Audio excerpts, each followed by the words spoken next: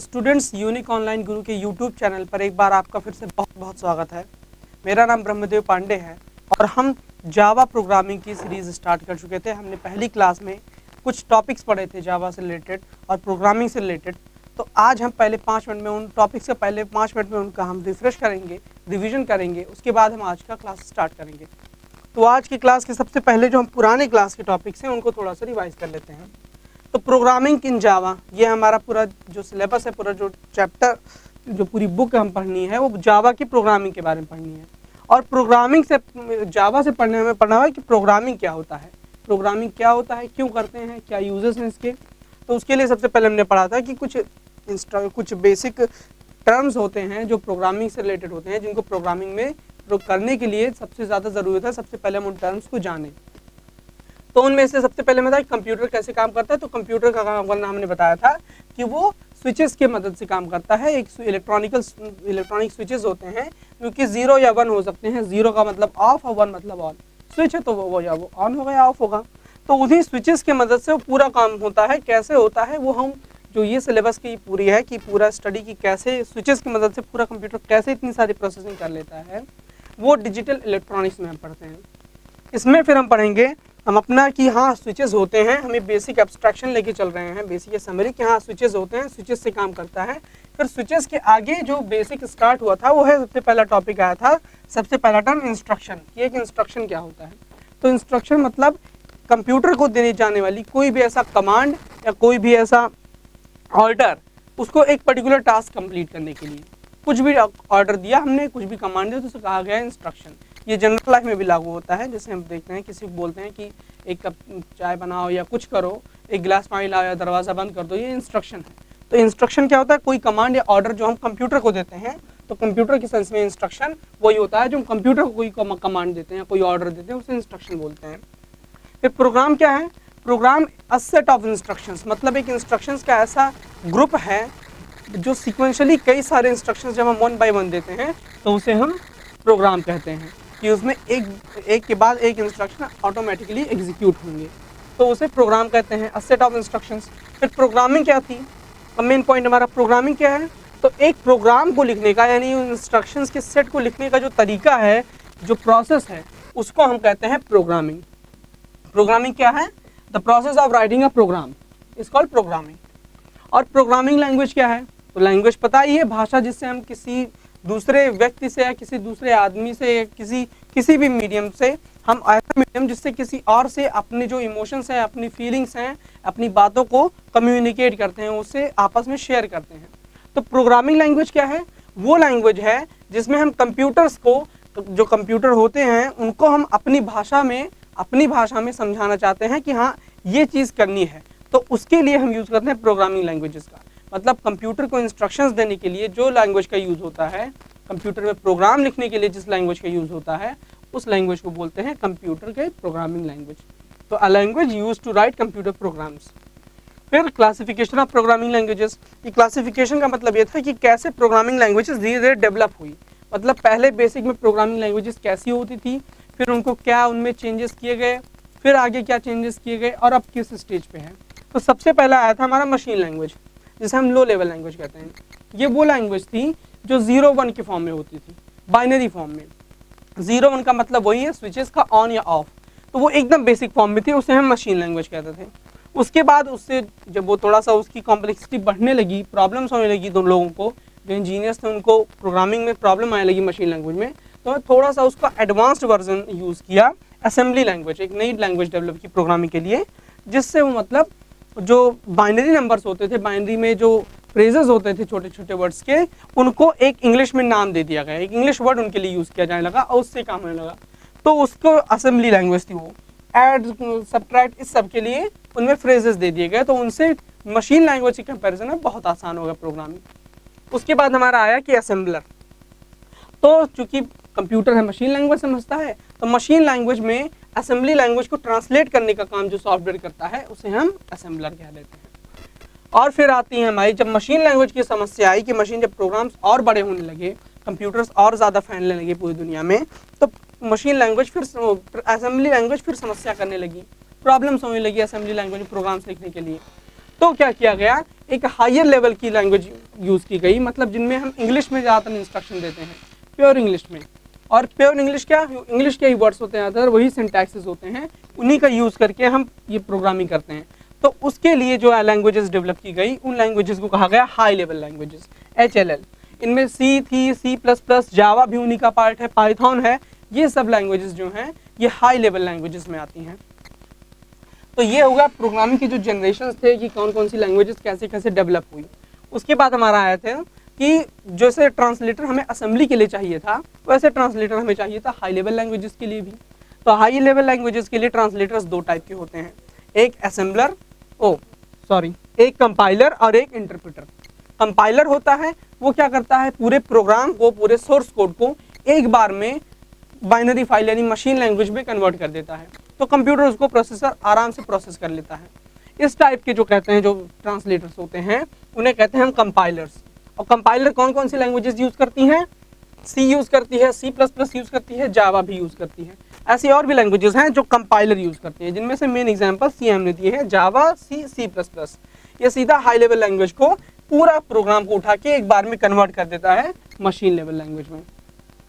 ये था हमारा कंपाइलर फिर जो हमारा दूसरा टर्म था इंटरप्रिटर इंटरप्रिटर भी एक टाइप का ट्रांसलेटर ही होता है, जो हाई लेवल लैंग्वेज को जाके मशीन लेवल लैंग्वेज यानी लो लेवल लैंग्वेज में चेंज करता है मशीन लैंग्वेज में चेंज करता है, लेकिन कैसे करता है, उसका थोड़ा सा काम करने का तरीका अलग होता है। वो क्या करता है लाइन बाई लाइन करता है। एक लाइन को उठाता है कंपाइल करता है मतलब सॉरी उसको चेंज करता है, उसको एग्जीक्यूट कराने के लिए सीधा प्रोसेसर को दे देता है। फिर दूसरी लाइन फेच करता है, उसको ट्रांसलेट करता है, उसको प्रोसेसर को दे देता है। तो इंटरप्रेटर लाइन बाई लाइन काम करता है। ये था हमारा कंपाइलर और इंटरप्रेटर का कॉन्सेप्ट फिर हमने कि कौन कौन सी लैंग्वेजेस कंपाइल्ड होती हैं कौन कौन सी लैंग्वेजेस इंटरप्रिटेड होती हैं, उनके एग्जाम्पल्स देखे। तो इसमें सी सी प्लस प्लस जावा जो मेन लैंग्वेजेस हैं, बहुत ये लिस्ट अभी बहुत लंबी है। क्यों? क्योंकि प्रोग्रामिंग लैंग्वेजेस जब हाई लेवल लैंग्वेज में प्रोग्रामिंग होने लगी तो वो बहुत आसान हो गया मशीन लैंग्वेज के कंपैरिजन में। इसीलिए ज़्यादा से ज़्यादा लोग इसमें इन्वॉल्व होने लगे। ज़्यादा से ज़्यादा लोगों को इंटरेस्ट आने लगा। तो वो नई नई लैंग्वेजेस डेवलप करने लगे। तो ये लिस्ट जो है, बहुत लंबी है। लेकिन हम केवल उनकी बात कर रहे हैं जो ट्रेंडिंग लैंग्वेजेस हैं, जो कि बहुत मोस्टली बहुत वाइडली यूज़ होती हैं पूरे वर्ल्ड में, ज़्यादातर यूज़ होती हैं, जो बहुत ज़्यादा अपना इफ़ेक्ट दिखा पाई पूरे वर्ल्ड पे। तो उन लैंग्वेजेस में है कंपाइल्ड लैंग्वेज में सी है सी प्लस प्लस है और जावा है, और इंटरप्रिटर लैंग्वेज में पाइथन है और जावा है। जावा है और पाइथन इंटरप्रिटर लैंग्वेजेस के एग्ज़ाम्पल थे। यहाँ पे इशू ये आया कि जावा दोनों में था। कंपाइल्ड और इंटरप्रेटर में तो फिर हमने क्लियर किया कि कंपाइल्ड और इंटरप्रेटर दोनों कैसे हो सकता है जावा तो क्या हुआ कि जो नॉर्मल लैंग्वेजेस होती हैं, जो कंपाइल्ड होती हैं, वो क्या होती हैं? सीधा सोर्स कोड उनका जो होता है, वो जा करके मशीन कोड में कन्वर्ट हो जाता है। जैसे यहाँ पे हमने क्लियर किया था सोर्स कोड जो होता है, वो सीधा उठा करके उसको इंटरप्रेटर हो या कंपाइलर हो, उसको सीधा मशीन कोड में चेंज कर देता है और प्रोसेसर उसको एग्जीक्यूट करता है। लेकिन जो जावा है, उसमें थोड़ी सी अलग टेक्निक यूज़ की गई है। वो टेक्निक क्या है कि जावा का जो है, वो पहले कंपाइलर जो होता है जावा का, वो पूरे प्रोग्राम को पहले एक टाइप के बाइट कोड एक स्पेशल मशीन कोड में चेंज करता है, जिसे बाइट कोड कहते हैं। और वो बाइट कोड केवल एक जो जावा वर्चुअल मशीन एक सॉफ्टवेयर होता है, जो जावा को में रन कराता है। जेवीएम, वो समझ पाता है। फिर वहाँ जेवीएम का काम क्या होता है कि वो इंटरप्रेट करता है वहाँ पे मतलब एक बाई एक वन बाई वन लाइन उठा के वो प्रोसेसर को यहाँ पे चेंज करता है कन्वर्ट करता है, उसके मशीन के लिए जो वहाँ पे प्रोसेसर है, उसको देता है। तो यहाँ पे कंपाइलेशन का स्टेप होता है, यहाँ पे और यहाँ पे पूरा इंटरप्रिटेशन का स्टेप होता है। इसीलिए जावा जो है वो कंपाइल और इंटरप्रेटेड दोनों में, दोनों कैटेगरीज में आती है। जावा को इसीलिए हम कंपाइल्ड भी कहते हैं इंटरप्रेटेड भी कहते हैं। और यही एक्स्ट्रा लेयर जो जेवीएम की है, वही इसको जावा को एक्स्ट्रा सिक्योरिटी देती है। क्योंकि कोई भी लैंग्वेज में अगर कुछ लिखा है कोड बाकी लैंग्वेजेस में वो डायरेक्ट कंपाइल होकर सीधा जाता है प्रोसेसर के पास एग्जीक्यूट होने के लिए। तो वहाँ पे जो जो प्रोग्रामर है, उसके पास ये राइट हो जाता है कि वो कुछ ऐसे काम कर सकता है जो कि हमारे प्रोसेसर को, हमारे सिस्टम को हार्म कर सकते हैं, नुकसान पहुँचा सकते हैं।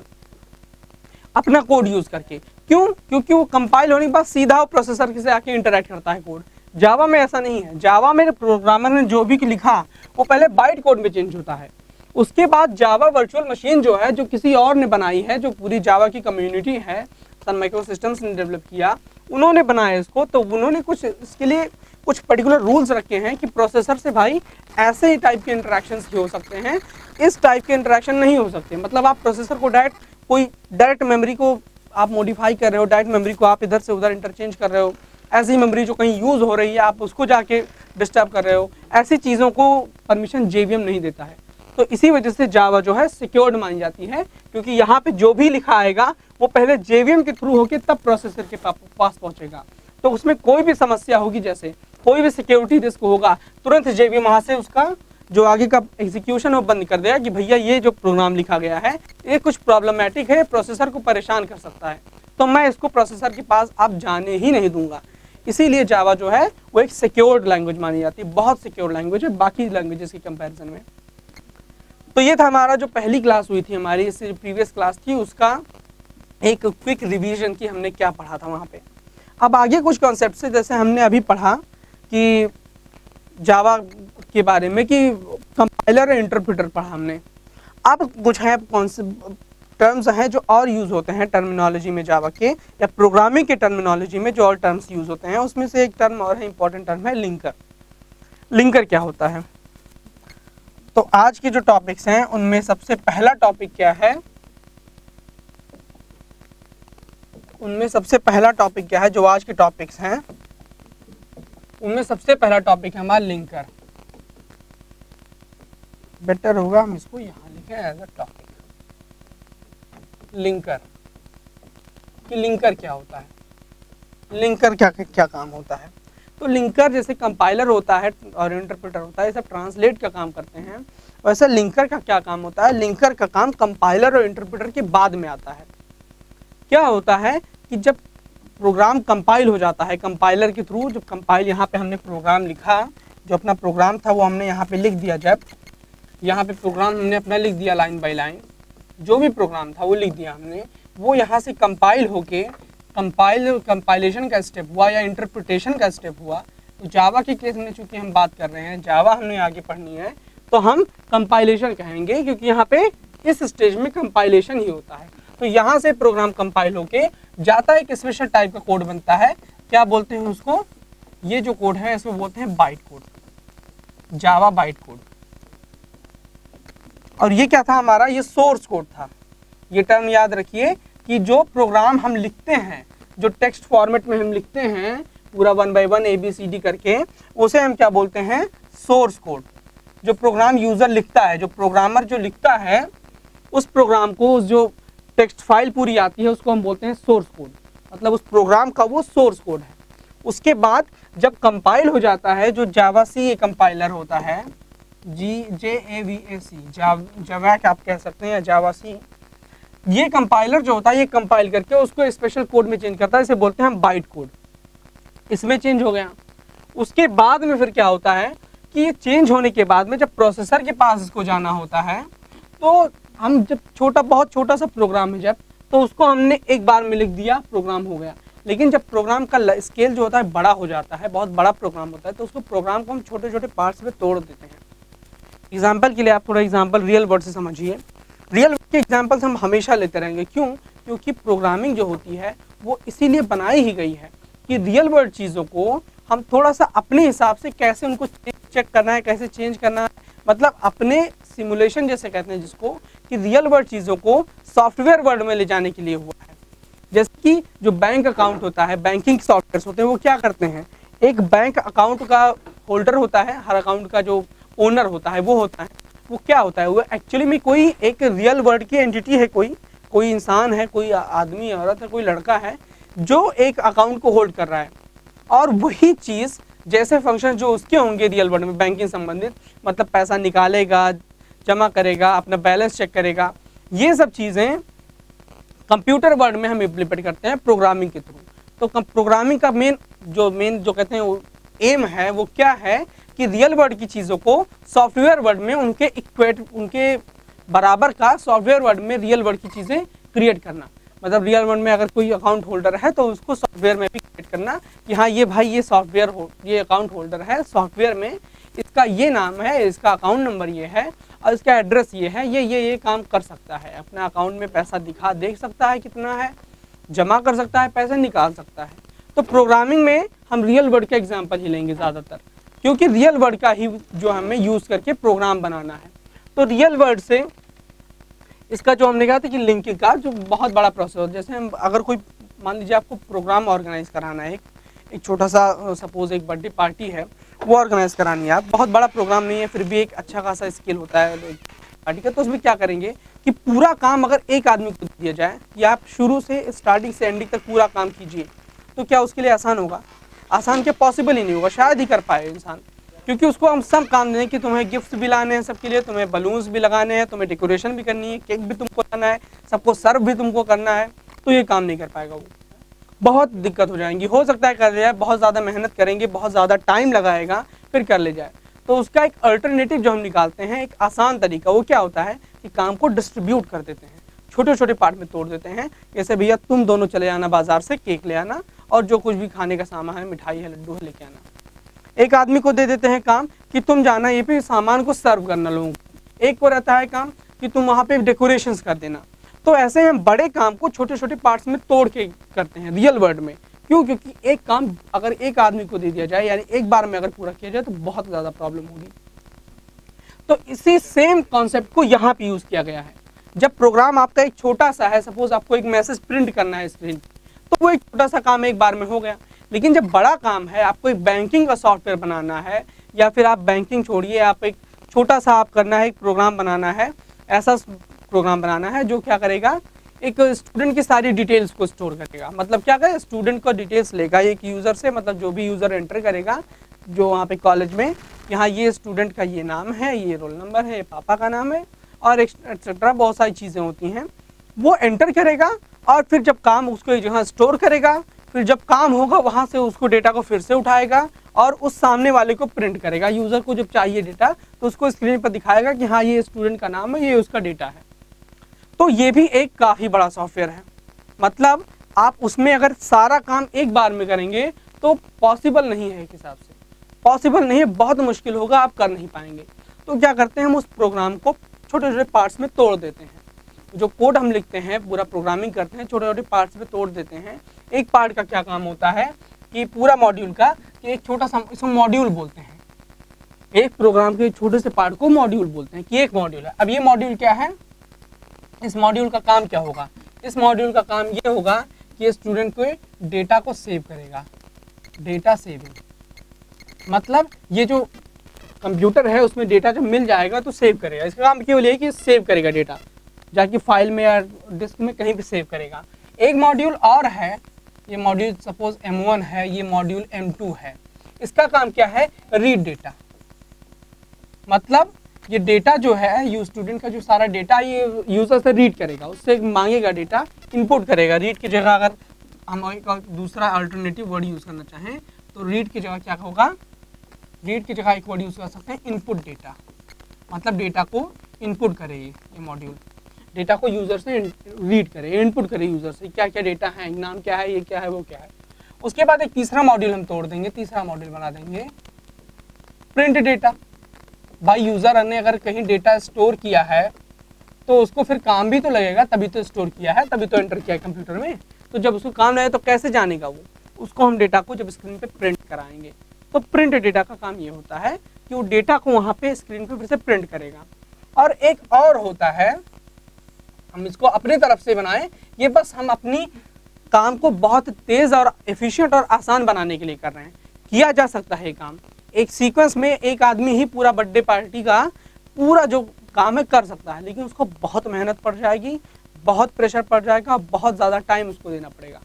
सेम इसमें भी कर सकते हैं। प्रोग्रामिंग में हम कर सकते हैं। एक साथ में पूरा एक प्रोग्राम एक मॉड्यूल में कर सकते हैं हम पूरा।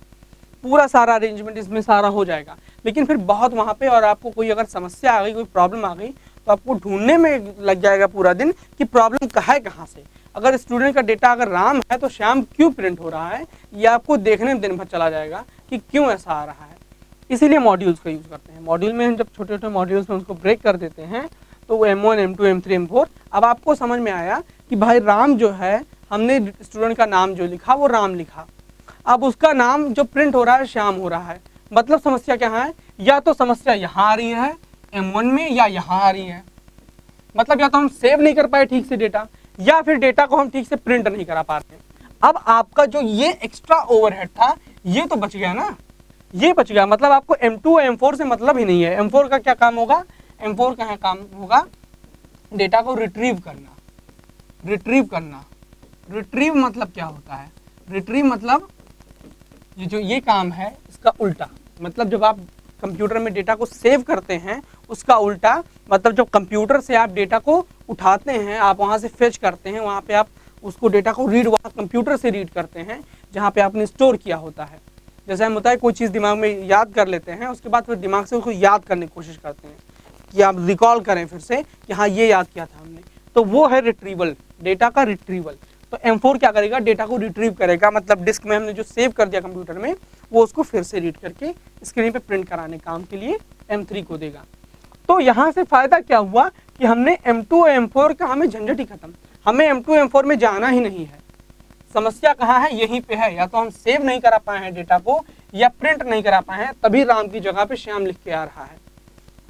तो ये आसानी होती है। सबसे बड़ी आसानी होती है कि एक तो बनाने में पूरा बहुत स्ट्रक्चर्ड है ये देखिए। ये अभी पूरा एक करते हैं एक पूरा मॉड्यूल हो, बड़ा सा, जिसमें ये क्या करेगा, ये कहीं पे डेटा को रीड करेगा, कहीं पे जाके वो सेव करेगा, और फिर कहीं पे हम उसको इनपुट कराएँगे सेव कराएँगे, इसमें यूज़र को प्रिंट कराएँगे कहीं पे, किसी, कहीं जगह पे रहेगा प्रिंट कराएँगे हम उसको, और फिर कहीं से रिट्रीव भी होता रहेगा। और ये सब एक में ही है, एक में मिक्सड अप है। तो बहुत समस्या हो जाएगी, जब हमें ढूंढना है, कोई समस्या ढूंढनी है, कोई जब बनाना है इसको तो पूरा हमें पूरा देखना पड़ेगा। यहाँ पे क्या है? केवल हमारा फोकस M1 और M3 पे रहेगा, बाकी पार्ट से हमें कोई इशू नहीं है, वहाँ पे चाहे जो हो।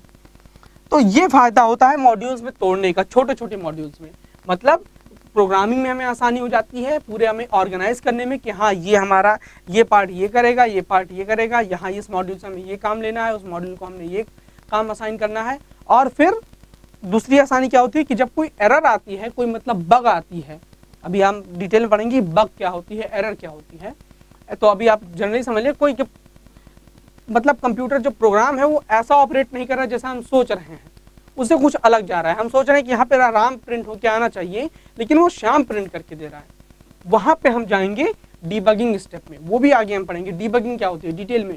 फ़िलहाल यही है डीबगिंग कि सर्च करना है कि समस्या आ कहाँ से रही है। तो जब ये हम डीबगिंग करते हैं मतलब जो समस्या ढूंढते हैं तो यहाँ पे हमें जब मॉड्यूलर फॉर्म में होता है, ये मॉड्यूल्स में अलग अलग तोड़ देते हैं तो बहुत आसानी होती है। तो ये थे पूरा प्रोसेस ये प्रोसेस पूरा किस लिए था? सिर्फ़ और सिर्फ़ इसलिए कि हमारा डेटा का जो रीडिंग राइटिंग है, वो बहुत ही इससे आसान हो जाता है। तो क्या हुआ? ये जो है, ये अलग अलग मॉड्यूल्स में, अब जब बाइट कोड आएगा तो बाइट कोड पूरा एक में आता है, लेकिन उसके अंदर अलग अलग मॉड्यूल्स रहेंगे। बाइट कोड में भी अलग अलग मॉड्यूल्स रहेंगे। अलग अलग मॉड्यूल्स रहेंगे। और फिर उनको जब मेन प्रोसेसर के पास जाना है, जब प्रोसेसर को मिलना है कि अब एग्जीक्यूट करना स्टार्ट होगा, वहाँ पे काम आता है हमारे लिंकर का। ये क्या करेगा?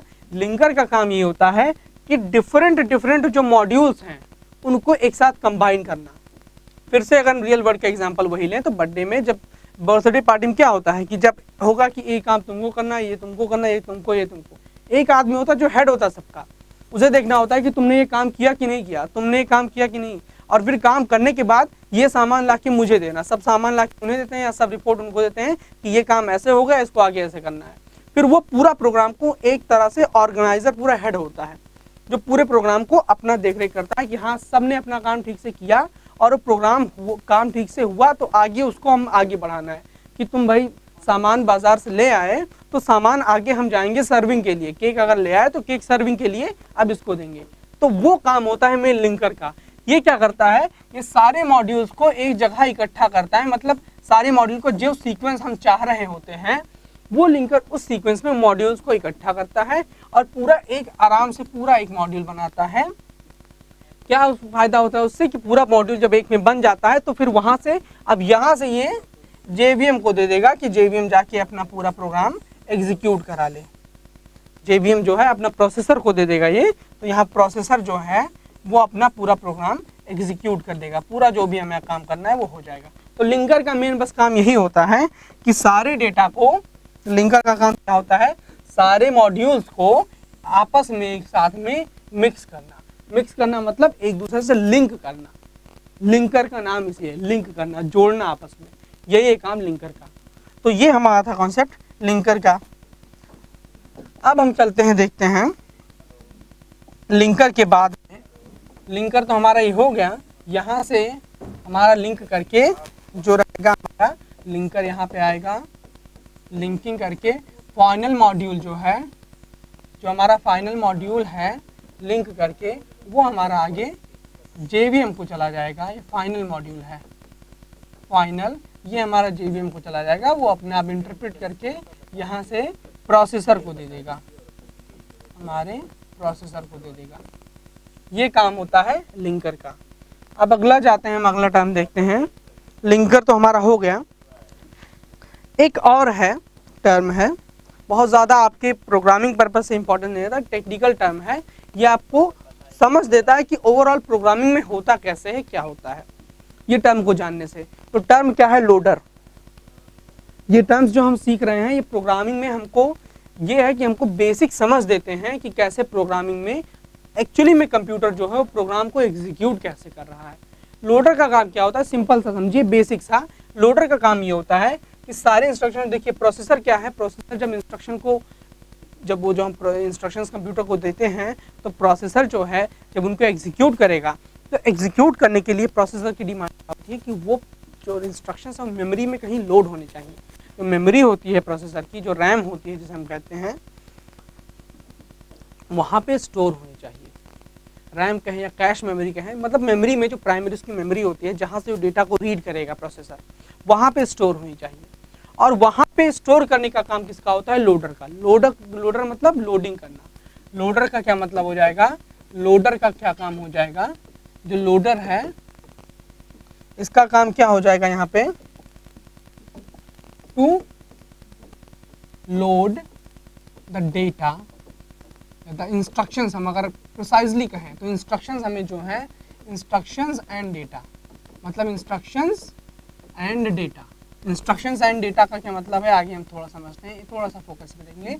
Instructions and data into the memory memory में लोड करना किसके लिए? फॉर इट्स एग्जीक्यूशन किसके लिए करना? For its execution by processor clear है अब ये? मतलब लोडर का काम क्या होता है कि जो इंस्ट्रक्शंस और डेटा हैं, ये इंपॉर्टेंट थोड़ा सा कॉम्बिनेशन है। इंस्ट्रक्शंस एंड डेटा का क्या मतलब है? इंस्ट्रक्शन एंड डेटा है, उनको मेमोरी में लोड करना किसके लिए? कि वो प्रोसेसर उनको एग्जीक्यूट कर सके। मेमोरी इंस्ट्रक्शंस और डेटा हमने क्यों लिखे? देखिए इंस्ट्रक्शंस और डेटा का मतलब ये है, आपने जैसे लिखा, C equals A plus B suppose ये आपने लिखा। इसका मतलब क्या हुआ? कि A और B को ऐड कर दो, इन दोनों को ऐड कर दो, और उसका जो वैल्यू आया यहाँ से, वो उठा के C में स्टोर कर दो। C वाले वेरिएबल में सी वाले लोकेशन पे स्टोर कर दो। इसे डेटा को उठा के सी वाले में स्टोर कर दो। अब यहाँ पे इंस्ट्रक्शन जो है वो क्या है? कंप्यूटर को हमने इंस्ट्रक्शन मिलने क्या दिया? ऐड का। हमने उसे कहा क्या? क्या करो? ऐड करो। क्या करो? ऐड करो। ऐड करो। तो ऐड क्या हो गया यहाँ पे? हमारा इंस्ट्रक्शन ये पूरा हमारा इंस्ट्रक्शन है। जो मेन इंस्ट्रक्शन ये है हमारा कि ऐड करो। ये हमारा होगा इंस्ट्रक्शन और दूसरा क्या है? अब किसको इसको ऐड करना है? ए और बी को. ए को और बी को. तो ए और बी हमारे क्या हो गए? डेटा और फिर क्या है? ये प्रोसेस सपोज़ हो गया. सपोज़ ये प्रोसेस हो गया. इसके बाद क्या आएगा? नेक्स्ट प्रोसेस क्या आएगा? फिर से स्टोर अब यहाँ पे जो आया सपोज़ वो कहीं पे है, किसी जगह पे है स्टोर करना है, क्या करना है? स्टोर करो, क्या करना है? जो जो लोकेशन आया मतलब जो सम आया सपोज़ वो किसी सम जगह पे है, वो कैसे होगा? आगे आप, वो आप डिटेल में आप डिजिटल इलेक्ट्रॉनिक्स आप प्रेफर कर सकते हैं उसके लिए, वहाँ पे आप रिफ़र कर सकते हैं कि कैसे डेटा स्टोर होता है इस जगह पे। यहाँ, वो आप वहाँ पे सीख सकते हैं। यहाँ मेन है कि डेटा यहाँ पे ऐड हो गया इंस्ट्रक्शन दिया ऐड और ए और बी हमने डेटा दे दिया कि भाई ए बी को ऐड कर दो और वो वैल्यू कहाँ कर दो? सी में स्टोर कर दो। अब यहाँ पे फिर इंस्ट्रक्शन क्या हो गया? ये हो गया इंस्ट्रक्शन हमारा। ये हमारा इंस्ट्रक्शन हो गया और ये हमारा डेटा हो गया। कहाँ करना है? सी में स्टोर करना है। तो सी वहाँ पर हमारा है कि मतलब जो वेरिएबल्स होते हैं, जो वैल्यूज़ होती हैं जो हम देते हैं उनको तो कंप्यूटर को, वो डेटा होता है और क्या करना है उनके साथ में वो इंस्ट्रक्शन होता है।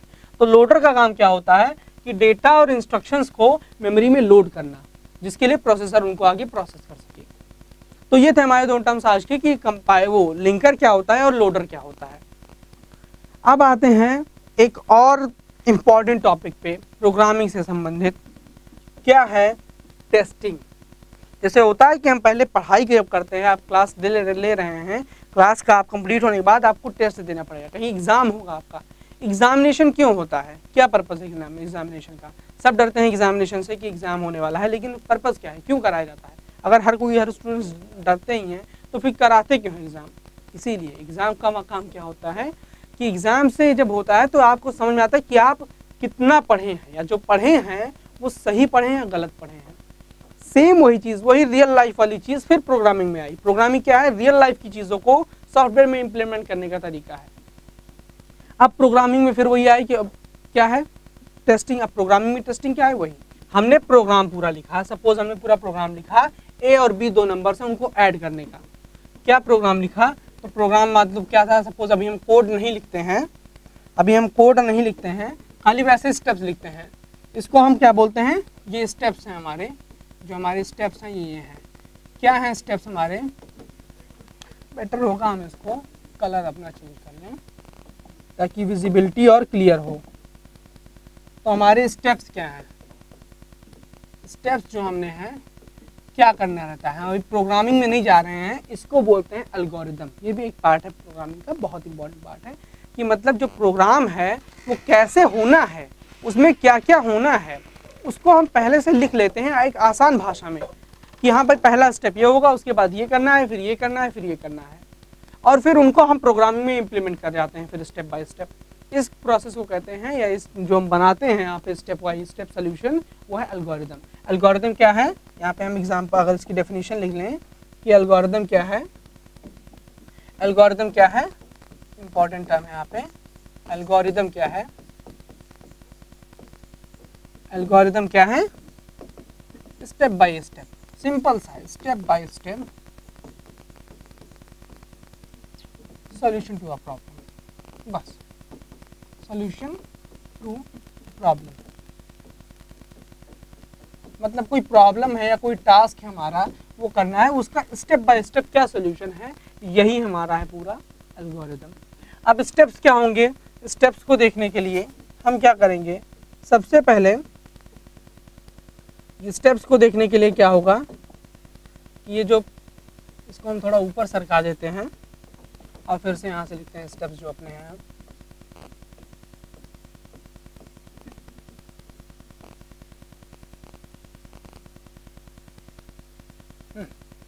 स्टेप्स हैं। तो सबसे पहला स्टेप क्या होगा? सपोज़ हमें दो नंबर्स को ऐड करना है। दो नंबर्स हैं, उनको पता नहीं है हमें, वो यूज़र से लेना है कि ये नंबर ये ये नंबर यूज़र देगा ऐड करना है। सबसे पहला काम क्या होगा? यूज़र से नंबर इनपुट कराना। इनपुट कहाँ कराएँगे? कहीं पे कोई वैल्यूज़ तो होंगी? जैसे हम पूछेंगे कि हाँ किसी को ऐड करना है तो क्या चाहिए उनके लिए? पहले कहते हैं कि एक्स और वाई को ऐड करो। ये तो होता है मैथ्स में कैसे करता है? सी इक्वल्स जैसे हम कहते हैं कि C equals A plus B अब यहाँ पे एक भी कोई वैल्यू आप डाल दीजिए और बी में कोई वैल्यू डाल दीजिए। कोई वैल्यू फाइव यहाँ पे डाल दी फोर यहाँ पे डाल दी। तो वहाँ पे जो इनका सम होके जो नाइन आया, वो यहाँ पे चला जाता है सी में। ये तो प्रोसेस होता है। तो सबसे पहले इसके लिए यहीं पे कॉन्सेप्ट आता है वेरिएबल्स का। वेरिएबल्स मतलब ऐसे लोकेशंस होते हैं, ऐसी मेमोरी में ऐसी जगहें होती हैं, जहाँ पे हम कोई वैल्यू जो है, वो यूज़र से लेके अपना प्रोसेसिंग करके वहाँ पे स्टोर कर सकते हैं। मेमोरी का मतलब क्या है? याददाश्त। याददाश्त मतलब कोई चीज़ अपने दिमाग में रखना सेम कंप्यूटर में भी होता है। कोई वैल्यू होती है, उसे हमें कहीं पे अभी स्टोर करना है, अभी हमें आगे चल के उसका काम आएगा तो उसको हम मेमोरी में स्टोर करते हैं। मेमोरी में कहीं ना कहीं कोई जगह पे स्टोर करेंगे, कोई पर्टिकुलर लोकेशन पे। तो वो लोकेशन को कहते हैं सपोज़ हमने ये लोकेशन बना दी इतनी, ये, कि भाई इतनी बड़ी लोकेशन है, इसका नाम दे दो ए इसका नाम दे दो कि मेमोरी का नाम है, जब हमें जाना हो, जैसे हम मान लीजिए, हमें कोई सामान रखना है कहीं पे, कि अभी हम हाथ में एक हम सपोज़ शॉपिंग के लिए गए, वहाँ पे हमने कुछ सामान लिया। और सब ग्रॉसरी पे हम गए ग्रॉसरी से सामान ले लिया। हमें फिर अब जाना है सब हार्डवेयर की दुकान पे। कुछ और लाना है हमें पेंट लाना है, कोई काम है। तो क्या करेंगे? सब वो अपना सामान लेके थोड़ी ना जाएँगे। उतना सारा वेट होता है। क्या करेंगे? कि एक पर्टिकुलर जगह पे रख देंगे, इस दुकान पे या इस जगह पे रख देंगे कि अभी हम कुछ देर बाद आएँगे, अपना वो सामान ले आए या वो हम काम कराएँ, फिर इसको उठा लेंगे यहाँ से। तो अगर सब कैसा, अगर सपोज़ आपको पता ही ना हो कि आपने रख, रखा कहाँ, वो लोकेशन ही नहीं याद हो तो क्या होगा? बेकार होगा वो सामान आपका चला जाएगा, आपको कभी ज़िंदगी में नहीं मिल पाएगा। या आपको यही नहीं पता कौन सी दुकान पर रखा था तो सामान आपको कहीं नहीं मिल पाएगा। इसीलिए जब मेमोरीज हम मेमोरी लोकेशन बनाते हैं कोई तो उसका एक पर्टिकुलर नाम दे देते हैं कि जब हमें काम लगे तो वैल्यू जो हमने मेमोरी पे सेव की है, वो हम तुरंत हमें मिल जाए। तो एक वेरिएबल बनाया हमने ए नाम का, एक मतलब वेरिएबल बनाने का मतलब यहाँ पे क्या हुआ? एक मेमोरी लोकेशन बनाई जिसका नाम हमने दे दिया ए और एक और बना ली जिसका नाम दे दिया हमने बी और यहाँ पे कोई वैल्यू जो होगी यूज़र सेव करेगा। तो इसको हम कहते हैं, इन्हीं को कहते हैं वेरिएबल्स तो सबसे पहले यहाँ पे आ जाते हैं। सबसे पहला काम क्या होगा यहाँ पे? क्रिएट वेरिएबल्स ये एकदम से अल्गोरिथम यही मतलब समझ लीजिए कोई जनरल इसमें कोई वो नहीं है, कोई यहाँ पे आपको कमांड नहीं है कि आपको इस तरह से करना है, इस तरह से करना है। वो आगे आप जब डिटेल में जाएँगे तो समझ में आएगा कि हाँ ये कुछ इसके सेट रूल्स हैं कि इसके अकॉर्डिंग आप करना है, जिससे बाहर अगर कोई आप कहीं और किसी को दिखाते हैं तो उसको अगर वो रूल्स बताएँ तो आराम से आपको समझ जाए वो कि प्रोग्राम ये अलगोरिदम में लिखा क्या है, होना क्या है। फ़िलहाल हम अपने अपने अपने समझने के लिए आसान भाषा में लिखते हैं कि स्टेप्स क्या हो गए अलगोरिदम क्या हो जाएगा स्टेप बाय स्टेप सोल्यूशन उसका हो जाएगा। किसका? हमारे जो प्रोग्राम को हमें प्रॉब्लम सॉल्व करनी है तो सबसे पहला क्या है? Create variables A B C तीन वेरिएबल हमने बना दिए ए बी सी दूसरा क्या है? इनपुट करा लो भाई। मतलब यूज़र से वैल्यू चाहिए तो हमको। इनपुट ए एंड बी मतलब ए और बी में जो वैल्यूज़ हैं हमारी, उनको इनपुट करा लो, उनको सेव करा लो यूज़र से। कि भैया ए की वैल्यू दे दीजिए बी की वैल्यू दे दीजिए इनको सेव करना है। फिर तीसरा क्या हो जाएगा? सी को सी में ए प्लस बी उठा के रख दो। सी को ए प्लस बी लेकिन बस ये जो मैंने कहा, अभी हम कि एक कुछ सेट रूल्स हैं कि हाँ इस हिसाब से आपका, इस वे में, इस पैटर्न पे आपका ये स्टेप ऐसे लिखना है, जिससे क्या होगा कि सामने वाले को समझ आए। अगर कोई आपको देख रहा है एल्गोरिदम उसको तुरंत समझ में आ जाए, आपको बताना ना पड़े बैठ के कि यहाँ इस, ये स्टेप का मतलब ये है, इस मतलब इस स्टेप में ये हो रहा है। ये आपको खुद से ना बताना पड़े, आराम से वो देखिए तैसे वो समझ में आ जाए। तो उसके लिए जो रूल्स हैं, उनमें से एक दो रूल ये है कि इक्वल टू साइन हम इक्वलिटी चेक करने के लिए रखते हैं। जब हमने ये करना है कि ए प्लस बी की वैल्यू इसकी सी में सेव कर दो तो उसके लिए ये सिंबल यूज़ करेंगे। ये इसका क्या मतलब हुआ कि ए प्लस बी की जो वैल्यू है, वो हमने सी में उठा के सेव कर दी। चौथा काम काम क्या हुआ? सी में ए प्लस बी की वैल्यू आ गई। प्रिंट कर दो सी को।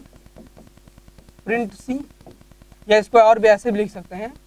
आज क्योंकि हमें केवल अपनी समझ के लिए लिखना है डिस्प्ले सी प्रोग्राम एल्गोरिदम का केवल काम यही होता है कि हम जो प्रोग्रामिंग में रियल में करने वाले हैं, उसको, जो रियल में प्रोग्राम हम लिखने वाले हैं, उसको हम अपनी भाषा में पहले लिख लें स्टेप बाय स्टेप कि ये हमें स्टेप फॉलो करने हैं आगे चलने के लिए प्रोग्राम में अपने।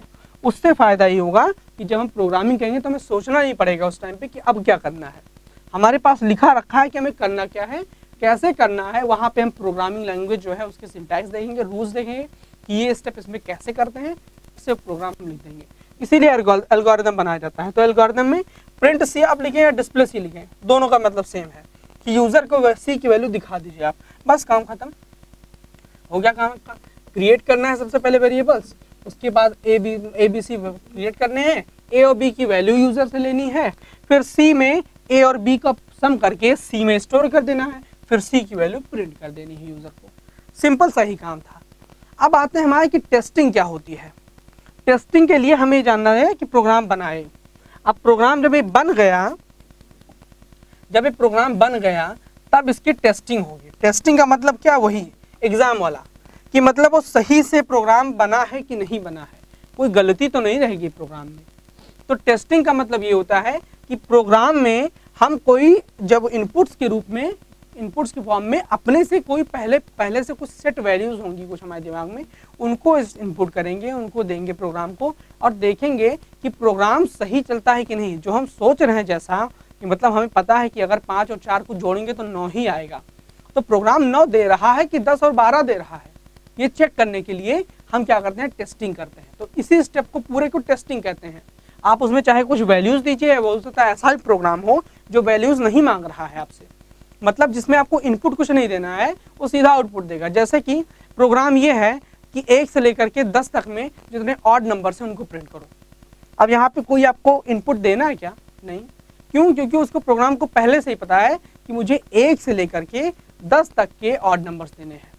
कुछ इनपुट आपका नहीं चाहिए। प्रोग्राम पहले से पता है, हम क्या करेंगे सिंपली उसको रन कराएँगे, देखेंगे कि रिज़ल्ट क्या आ रहा है। अगर रिज़ल्ट ये आ गया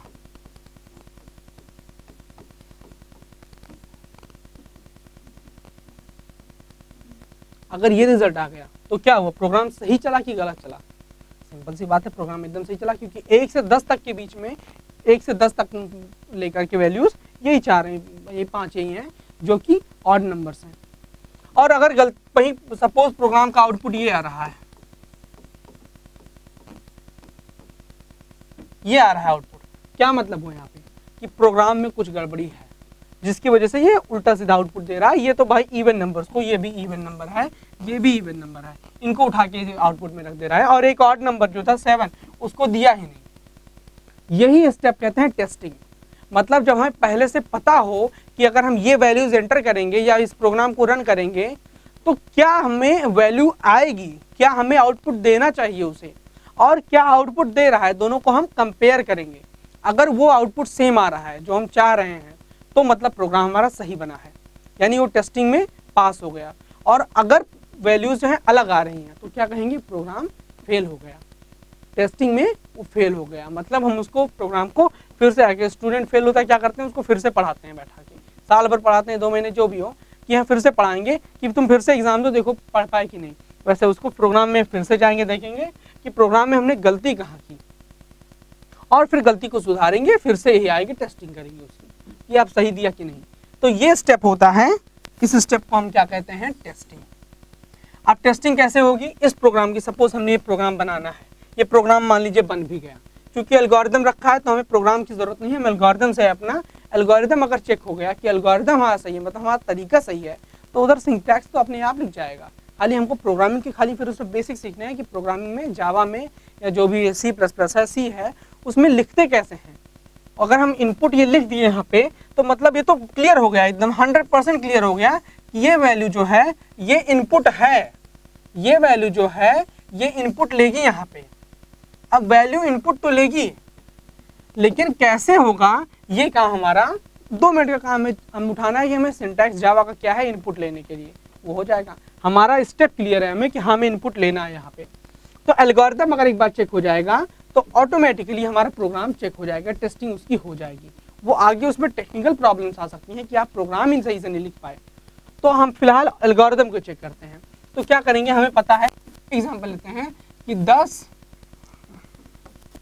क्या है कि हमें पता है कि 10 और 12 को अगर ऐड करेंगे तो कितना आने वाला है ये? ये कितना आने वाला है? 10 और 12 को अगर हम ऐड करेंगे तो कितना आने वाला है? ये सिंपल सी बात है 22 आने वाला है। Ten plus twelve equals twenty तो दस बारह को जोड़ेंगे तो 22 आएगा, पक्का हमें पता है। अब इन वैल्यूज़ को सप्लाई करते हैं। क्या है? सबसे पहला क्रिएट वेरिएबल्स वेरिएबल से सी मतलब वेरिएबल्स हमारे मेमोरी में बन गए। यानी ये ए बन गया, ये बी बन गया, और ये बन गया सी कहीं भी बने मेमोरी में, इससे हमें मतलब नहीं है। हमें पता है, क्यों? क्योंकि हमारे पास नाम है इनका मतलब एड्रेस है हमारे पास इनका। कि इस मेमोरी पे, इस जगह पे हमारे वेरिएबल्स बने हैं। मतलब इस जगह पे हमारी मेमोरी लोकेशन जो है, वो यहाँ है। इस इस जगह पे हमारे वैल्यूज़ स्टोर होंगे। अब क्या हुआ? इनपुट ए एंड बी अब ए है ए और बी को इनपुट करना है। ए और बी को। ए में क्या हमने इनपुट किया? हम ए में दस दे रहे हैं और बी में बारह दे रहे हैं। सी में इसका रिज़ल्ट आ रहा है। तो ए में आ गया टेन बी में आएगा ट्वेल्व तीसरा काम। इनपुट का काम हो गया। C equals A plus B मतलब सी में ए प्लस बाई बी की वैल्यू स्टोर कर दो। अब ए प्लस बी हम यहाँ पे करेंगे कंप्यूटर की। कंप्यूटर क्या करेगा? ए प्लस बी को जोड़ेगा। टेन और ट्वेल्व कितना होगा? ट्वेंटी टू यहाँ पे आपको सिंपल लग रहा है क्योंकि यहाँ पे आपको पता है कि जोड़ना क्या होता है और कंप्यूटर कैसे जोड़ेगा। इसको जब हम आगे इम्प्लीमेंट करेंगे हायर लेवल पे सेम ऐसे एल्गोरिथम्स को कि एक वैल्यू लेगी तो वहाँ पे आपको पहले से पता नहीं रहेगा कि आपको ये पता है कि मैं यहाँ पे ये ये वैल्यू डालूँगा तो ये वैल्यूज़ आएगी। ये आनी चाहिए प्रोग्राम से। लेकिन ये नहीं पता है कि यहाँ पे वो कैसे आएँगी। वहाँ पे आपको वन बाई वन उस स्टेप को चलाना है। यहाँ पे तो बहुत सिंपल सा स्टेप है सम करना है। तो हमें पता है सम का तो वही आएगा। फिर भी हम चलाएँगे क्योंकि हमें बेसिक प्रोसेस समझना है कि टेस्टिंग होती कैसे है। यहाँ पे आए। यहाँ पे हमने प्रोग्राम को वैल्यूज़ दी ए प्लस बी एड किया, उसने फिर सी में स्टोर किया। सी में कितना आएगा? ट्वेंटी टू सिंपल सी बात है। अब फिर क्या है? चौथा स्टेप है प्रिंट सी या डिस्प्ले सी सी को डिस्प्ले कर दूँ। अब क्या होगा? जो हमारी स्क्रीन है, जो कंसोल जिसे बोलते हैं, इस स्क्रीन को जहाँ पे हम इनपुट्स देते हैं और आउटपुट हमको मिलता है, वो स्क्रीन को क्या बोलते हैं? कंसोल बोलते हैं। कंसोल पे हमें क्या आया? या जो भी हमारा आउटपुट का स्क्रीन है उसमें हमारा क्या आया? प्रिंट हुआ सी सी की वैल्यू कितनी है? अब हमने क्या दिया? यहाँ पे सबसे पहले हमने तो इसको हम थोड़ा तरीके से लिख लेते हैं। तरीके से लिखने का क्या मतलब है? तरीके से लिखने का मतलब ये है, ये हमारा सपोज़ स्क्रीन है, ये हमारा जो है, ये हमारा कंसोल है। ये कंसोल है हमारा। अब यहाँ पे हमने कहा कि इनपुट करो ये अभी। हमने इनपुट 12 किया और उसके बाद फिर क्या कि पहले 10 किया था। तो इनपुट हमने क्या किया? सबसे पहले 10 किया और फिर 12 किया। और फाइनल हमारा आउटपुट कितना आ गया? प्रिंट सी में 22 अब हमें पता है कि ये ए की वैल्यू थी और ये बी की वैल्यू थी। ये वाली। और हमारा कितना आ गया? सी की वैल्यू आ गई हमारी 22 मतलब प्रोग्राम हमारा टेस्टिंग में पास हो गया। मतलब प्रोग्राम जो हम लिखे हैं, वो सही लिखे हैं। ऐसे हम दो तीन स्टैंडर्ड वैल्यूज़ पे चेक करेंगे कि 10 और 12 जोड़ेंगे ज़ीरो वन जोड़ेंगे ज़ीरो पे कोई भी प्रोग्राम समस्या हो जाती है। नेगेटिव नंबर्स को जोड़ के देखेंगे कि माइनस टेन में अगर माइनस ट्वेल्व जोड़ेंगे तो क्या होगा। और वहाँ पे हमें चूँकि आउटपुट पता है खुद से कि पहले ये होना चाहिए। प्रोग्राम अगर वही आउटपुट दे रहा है मतलब प्रोग्राम हो गया सही। और इसी पूरे स्टेप को वैल्यूज़ डाल करके निकालने को टेस्टिंग बोलते हैं। ये हो गया। अगला स्टेप फिर क्या है? डी बगिंग ये स्टेप क्या है हमारा? इसको बोलेंगे हम डी बगिंग डी बगिंग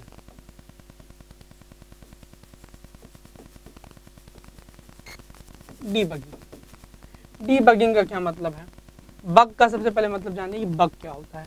कि डी बगिंग का अगर यहाँ पे यहाँ पे अगर आप देख रहे हैं तो डी बगिंग में एक वर्ड आ रहा है बग और बग को निकालने का प्रोसेस ही करता है बग को हटाने का प्रोसेस होता है डी बगिंग हम्म? जैसे यहाँ पे. तो डी बगिंग है, अब यहाँ पे मेन वर्ड क्या है इसमें? बग बग समझते हैं क्या होता है? बग क्या होता है? नॉर्मली में जो जनरल इंग्लिश होती है, उसमें बग होता है, कीड़ा होता है. एक कोई भी कीड़ा होता है, कोई मौत होता है जो उड़ता है, ऐसे रहता है। आप बग सर्च करेंगे नेट पे, आपको समझ में आएगा ये बग क्या होता है। बग एक कीड़ा होता है, सिंपल समझिए। उसको निकालने का प्रोसेस डीबगिंग मतलब बग निकालने का प्रोसेस ठीक? अब डीबगिंग में ये क्यों कहा गया? मतलब बग मतलब और बग का यहाँ पे क्या मतलब है? कंप्यूटर लैंग्वेज में। वहाँ पे तो बग था, बग मतलब कीड़ा था एक। यहाँ पे कंप्यूटर लैंग्वेज में बग का क्या मतलब है? बग का मतलब है कोई एरर एरर कैसी एरर एरर का मतलब क्या होता है? पहले समझते हैं कि एरर क्या होती है। प्रोग्रामिंग के लैंग्वेज में एरर क्या होती है? प्रोग्रामिंग में हम एरर किसे कहते हैं? एरर को होती है? ऐसी चीज़ जो हमारा प्रोग्राम को रन नहीं होने दे। रन नहीं होने दे, इसका मतलब क्या है? कि जैसे प्रोग्राम का आपने सिंटैक्स जो लिखा हो, वो गलत हो जाए। मतलब प्रोग्रामिंग लैंग्वेज जैसे है, जैसे हम हिंदी बोलते हैं या इंग्लिश बोलते हैं तो जैसे कहना है कि इंग्लिश में कहना है कि राम एक अच्छा लड़का है। तो हम क्या लिख दें? Ram is a good boy. तो ये तो सही हो गया। और अगर हमें फिर लिखना है कि राम एक अच्छा लड़का था, सपोज़, और फिर हम वहाँ क्या लिखते Ram was a good boy ये भी सही है। लेकिन अगर यहाँ पे प्रॉब्लम यहाँ तब आएगी जब हम लैंग्वेज जो कहती है, उसके अगेंस्ट में चले जाएँ। मतलब जो लैंग्वेज हमारी कह रही थी, कि लैंग्वेज की कह रही कि ये के साथ में आपको ये चीज़ यूज़ होना है। मतलब अगर आप सिंगुलर सब्जेक्ट यूज़ करते हैं तो उसके साथ में आपको जो वर्ब है या जो ये वर्ब ये हेल्पिंग वर्ब है, वो हेल्पिंग वर्ब आपको सिंगुलर वर्ब वाली लगानी है। आप क्या लिख दें? Ram is a good boy की जगह। जब राम एक अच्छा लड़का है, आप लिख दें, Ram are a good boy अब यहाँ पे देखिए प्रॉब्लम आ गई तुरंत क्यों? क्योंकि लैंग्वेज कहती है कि राम एक सिंगुलर वर्ड है। राम एक सिंगुलर है। उसके साथ में आपको हेल्पिंग वर्ब जो है सिंगुलर यूज़ करना चाहिए। सिंगुलर हेल्पिंग वर्ब क्या होगा क्या होगा आराम के साथ में? इज़ होगा। आप आर यूज़ कर रहे हैं मतलब आप लैंग्वेज का जो सिंटैक्स है, उसके अपोजिट में जा रहे हैं। मतलब लैंग्वेज के सिंटैक्स से आप गलत कर रहे हैं। मतलब लैंग्वेज के जो जनरल डिफिनीशन है, जो लैंग्वेज के जनरल रूल है, उसे आप तोड़ रहे हैं। इसे क्या कहते हैं? इस टाइप की समस्याओं को क्या कहते हैं? एरर कहते हैं। इसे सिंटैक्स एरर बोलते हैं। इसे क्या बोलते हैं? इन टाइप की एरर्स को क्या बोलते हैं? Syntax errors syntax errors syntax error का मतलब क्या है?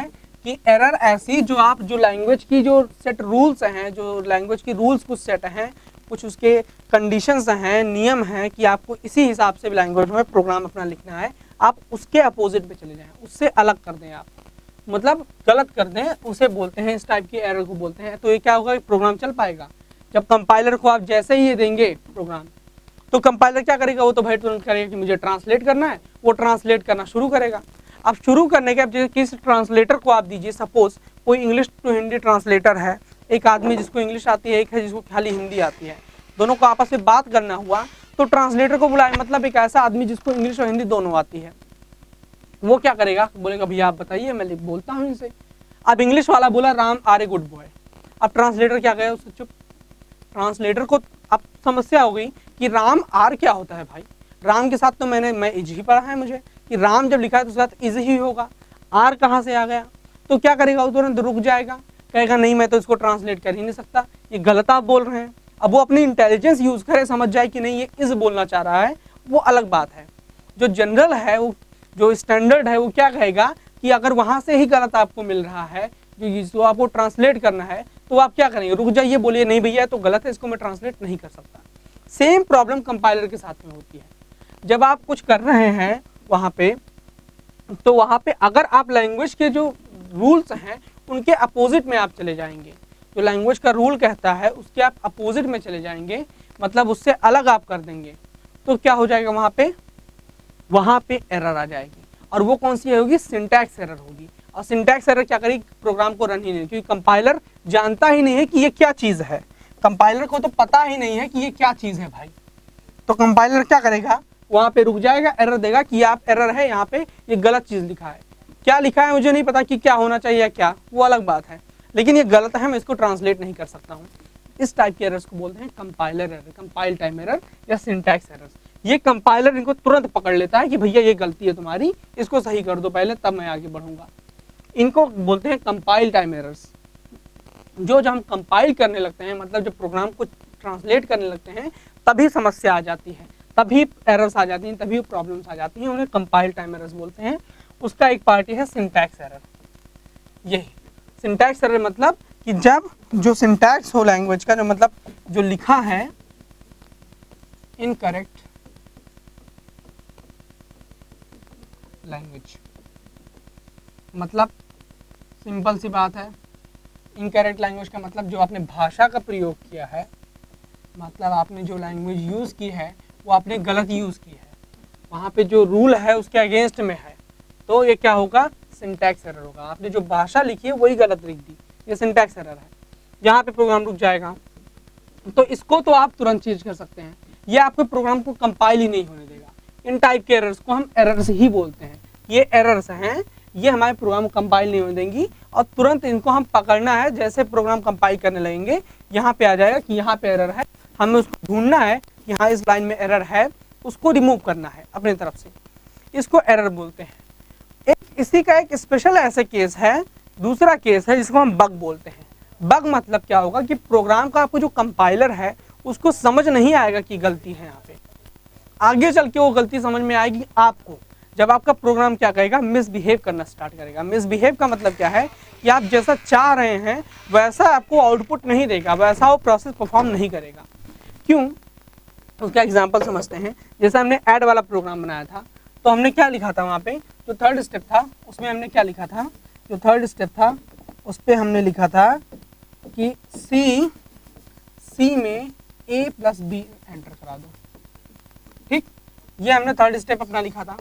C equals A plus B C को असाइन कर दो ए प्लस बी ये हमने लिखा था, हमारा क्या था, बारह बाईस, बारह और दस को एंटर कर रहे थे तो ट्वेल्व टेन को ट्वेंटी टू करके दे रहा था हमें। प्रॉब्लम कहा गई? अब मान लीजिए आपने गलती से टाइपिंग मिस्टेक किया जानबूझ के किया, कुछ भी आपने यहाँ पे ये लगा दिया। ये एस्ट्रिक है स्टार सिंबल है, ये मल्टीप्लाई के लिए यूज़ होता है। जैसे हम क्या करते हैं, हम मल्टीप्लाई के लिए ये सिंबल यूज़ करते हैं जनरल मैथमेटिक्स में। लेकिन फिर हम इक्वल टू के लिए भी तो ये यूज़ करते हैं। लेकिन एल्गोरिदम जो है, वो एक स्टैंडर्ड बनाया गया है कि सामने वाले को समझ आ जाए तो एक रूल्स बना दिए गए हैं। तो उन रूल्स में जैसे इक्वल टू को हम क्या करते हैं, इसको हम इससे रिप्रेजेंट करते हैं। ये वाले इक्वल टू को, जब इक्वलिटी आपको नहीं चेक करनी है आपको ये वाली वैल्यू इसमें असाइन करना वहाँ पे हम इस ऑपरेटर का यूज़ करते हैं। एरो ऑपरेटर का। एरो ऑपरेटर मतलब ये एरो का सिंबल यूज़ करते हैं, जो कि ये वैल्यू के सी में स्टोर करेगा। उसी तरह मल्टीप्लाई के लिए हम ये एक्स का वैल्यू नहीं, ये जो ऐसे क्रॉस होता है, इसको नहीं यूज़ करते, इसके जगह पे हम स्टार का यूज़ करते हैं। ये सिंबल है। स्टार स्टार का मतलब क्या होता है? कि मल्टीप्लाई करो। एस्टरिक इसे बोलते हैं। एस्टरिक का मतलब होता है मल्टीप्लाई तो एल्गोरिदम में एस्टरिक हम किस लिए यूज़ करते हैं? मल्टीप्लीकेशन के लिए। तो इसे हटाते हैं। थर्ड स्टेप हमारा क्या था? सी में हमने लिख दिया, ये लिख दिया हमने। मतलब ए बी को मल्टीप्लाई कर दो। अब हम तो सोच रहे हैं कि हमने प्लस ही लिखा है। कंपाइलर आया, उसको कोई समस्या नहीं। उसको क्या पता कि आप प्लस करना चाह रहे हैं। अब यहाँ पे सपोज़ हमने जो वही एग्जांपल हमारा है कि हम लिखना चाहते थे Ram is a good boy Ram is a good boy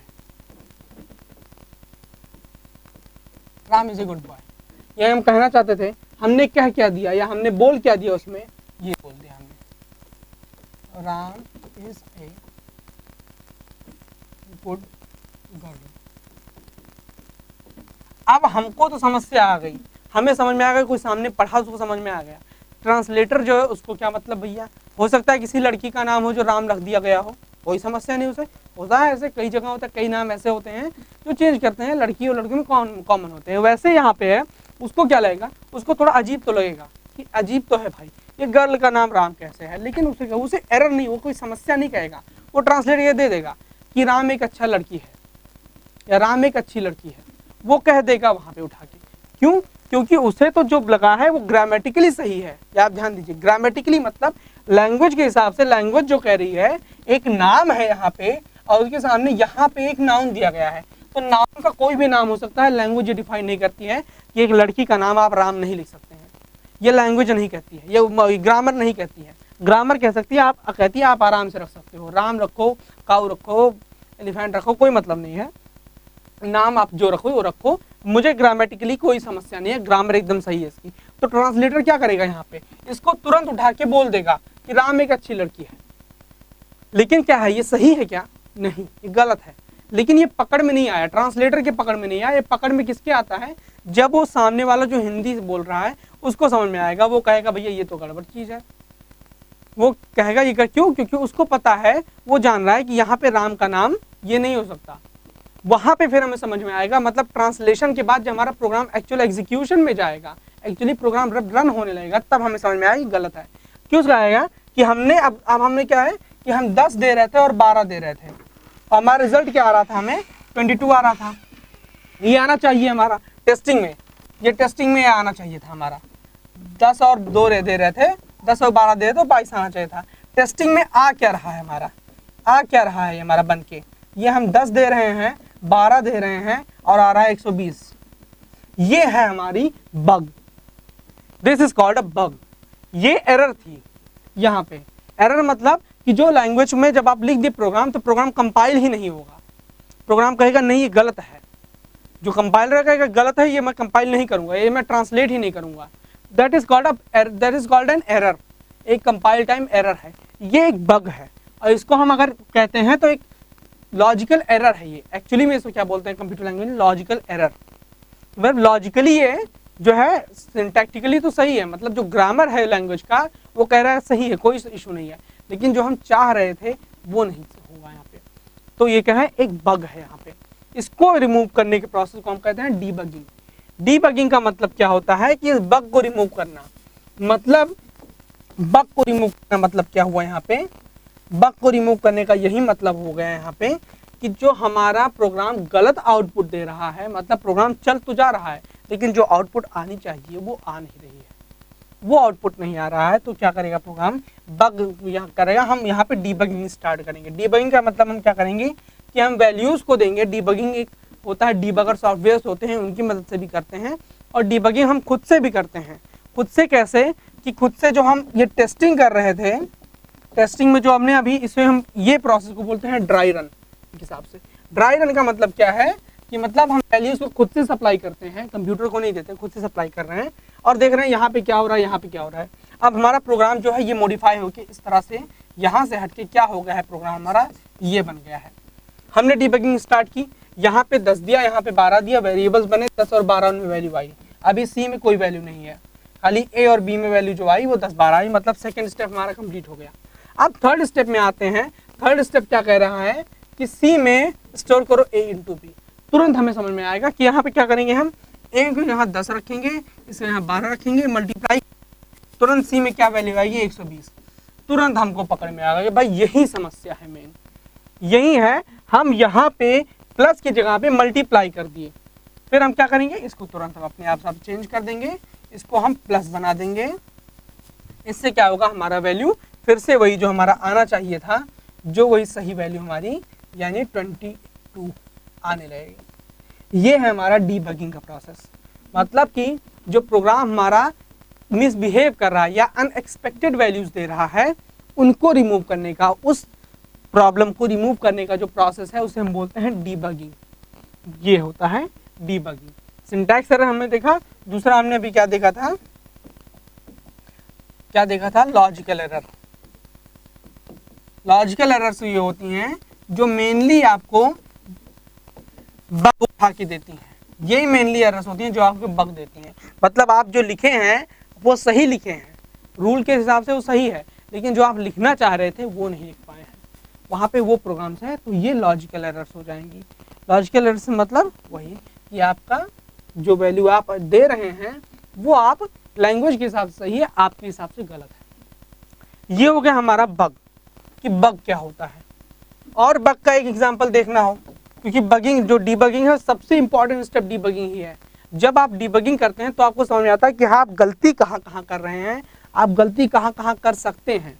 और वहाँ से आप फिर गलतियाँ सुधारते हैं। क्योंकि कंपाइल टाइम एरर्स जो होती हैं सिंटैक्स एरर्स तुरंत पकड़ में आ जाती है। कंपाइलर वहाँ पर रुक जाता है ट्रांसलेट ही नहीं करता है। ये जो बग्स होती हैं, इनमें समस्या होती है। क्यों? क्योंकि ये रन आराम से हो जाती हैं, इनको कोई समस्या नहीं होती है। ये आराम से रन हो जाएँगे। इनको अपने उससे समस्या नहीं है। जब आपको वैल्यूज़ आने लगेंगी, आपको जब आउटपुट आएगा तो वो आपका अलग आएगा अनएक्सपेक्टेड आएगा। जो आप सोच रहे हैं, उससे बहुत अलग आएगा। तो डीबगिंग का ये प्रोसेस होता है। और डीबगिंग को एक और एग्जांपल लेके समझते हैं कि डीबगिंग में और कहाँ गलती हो सकती है। तो डीबगिंग के लिए एक छोटी सी गलती और हो सकती है मतलब एक और टाइप की चीज़ है। एक टाइप की एरर ही कहते हैं हम उनको, जिनको हम रन टाइम एरर्स बोलते हैं। अभी हमने पिछले में क्या देखा था? कंपाइल टाइम एरर्स जिन्हें कंपाइलर खुद रुक जाता है कंपाइल नहीं करता। अब आते हैं हम रन टाइम एरर्स पे। कि जो कंपाइलर रन तो कर देता है, बाद में आपको समस्या आती है। क्या समस्या आती है? हमने फिर प्रोग्राम लिखा जो प्रोग्राम था, क्या था? हम अलगोरिदम में लिख चलते हैं। अभी क्योंकि हमने जावा की सिंटैक्स नहीं पढ़े हैं कि जावा में कैसे क्या होता है तो अभी हम सिंपल अलगोरिदम पे ही चलते हैं। क्या है? क्रिएट वेरिएबल्स सबसे पहले क्रिएट वेरिएबल्स वैर्स हम लिख दिए? वेरिएबल्स क्या क्या? ए बी सी दूसरा क्या है? इनपुट ए बी ए और बी को इनपुट करो मतलब यूज़र से रीड करो। सी में ए डिवाइडेड बाई की बी की वैल्यू रख। दो सी में ए डिवाइडेड बाई बी की वैल्यू रख दो। चौथा क्या है? डिस्प्ले सी हो गया। काम हमारा कंप्लीट मतलब क्या करना है हमें यहाँ पे? सिंपल प्रोग्राम का हमें ऑब्जेक्टिव समझ में आ रहा है कि प्रोग्राम क्या करेगा यहाँ पे? हमें एक वैल्यू को दूसरे वैल्यू से डिवाइड करेगा, हमें जो डिवीज़न का जो क्वेश्चन है मतलब जो भागफल है, वो हमको देगा। वो हम यहाँ पे प्रिंट करेगा। तो अब फिर हम इसकी टेस्टिंग करते हैं। टेस्टिंग सबसे पहले ये यहाँ देखिए, जो सीक्वेंस होता है, जो सीक्वेंस होता है हाँ एक बार एक इंपॉर्टेंट चीज़ कि प्रोग्राम को लिखने का जो सीक्वेंस होता है, ये लाइन खींच कहते हैं। सीक्वेंस क्या होता है लिखने का?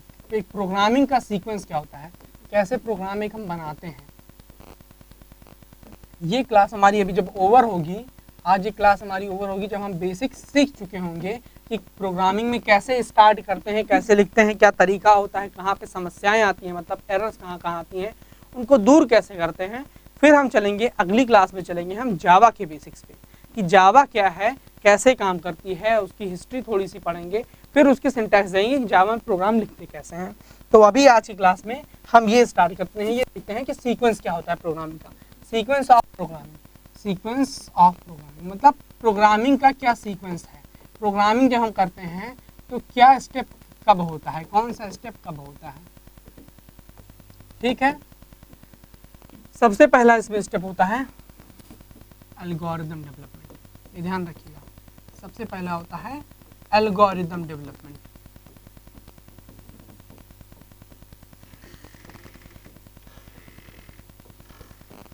सबसे पहला स्टेप ये होता है कि हम जो एल्गोरिदम है, वो बनाते हैं प्रोग्राम का। एल्गोरिदम क्या? वही।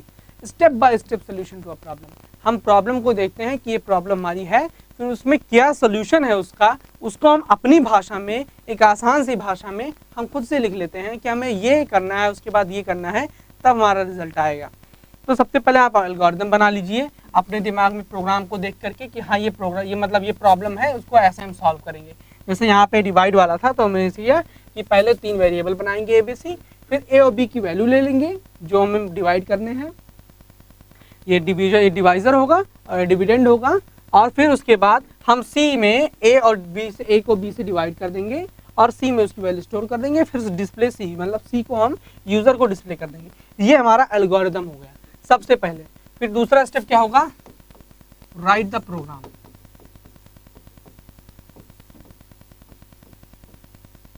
मतलब हमारा जो एल्गोरिदम बन गया, अब उसके अकॉर्डिंग उस एल्गोरिदम के स्टेप्स को हम जो लैंग्वेज है, जो लैंग्वेज हम यूज़ कर रहे हैं, इसमें और बीच में बहुत सारे स्टेप्स हम अभी मिस कर रहे हैं। मिस क्या? हम उसको जानबूझ के छोड़ रहे हैं क्योंकि वो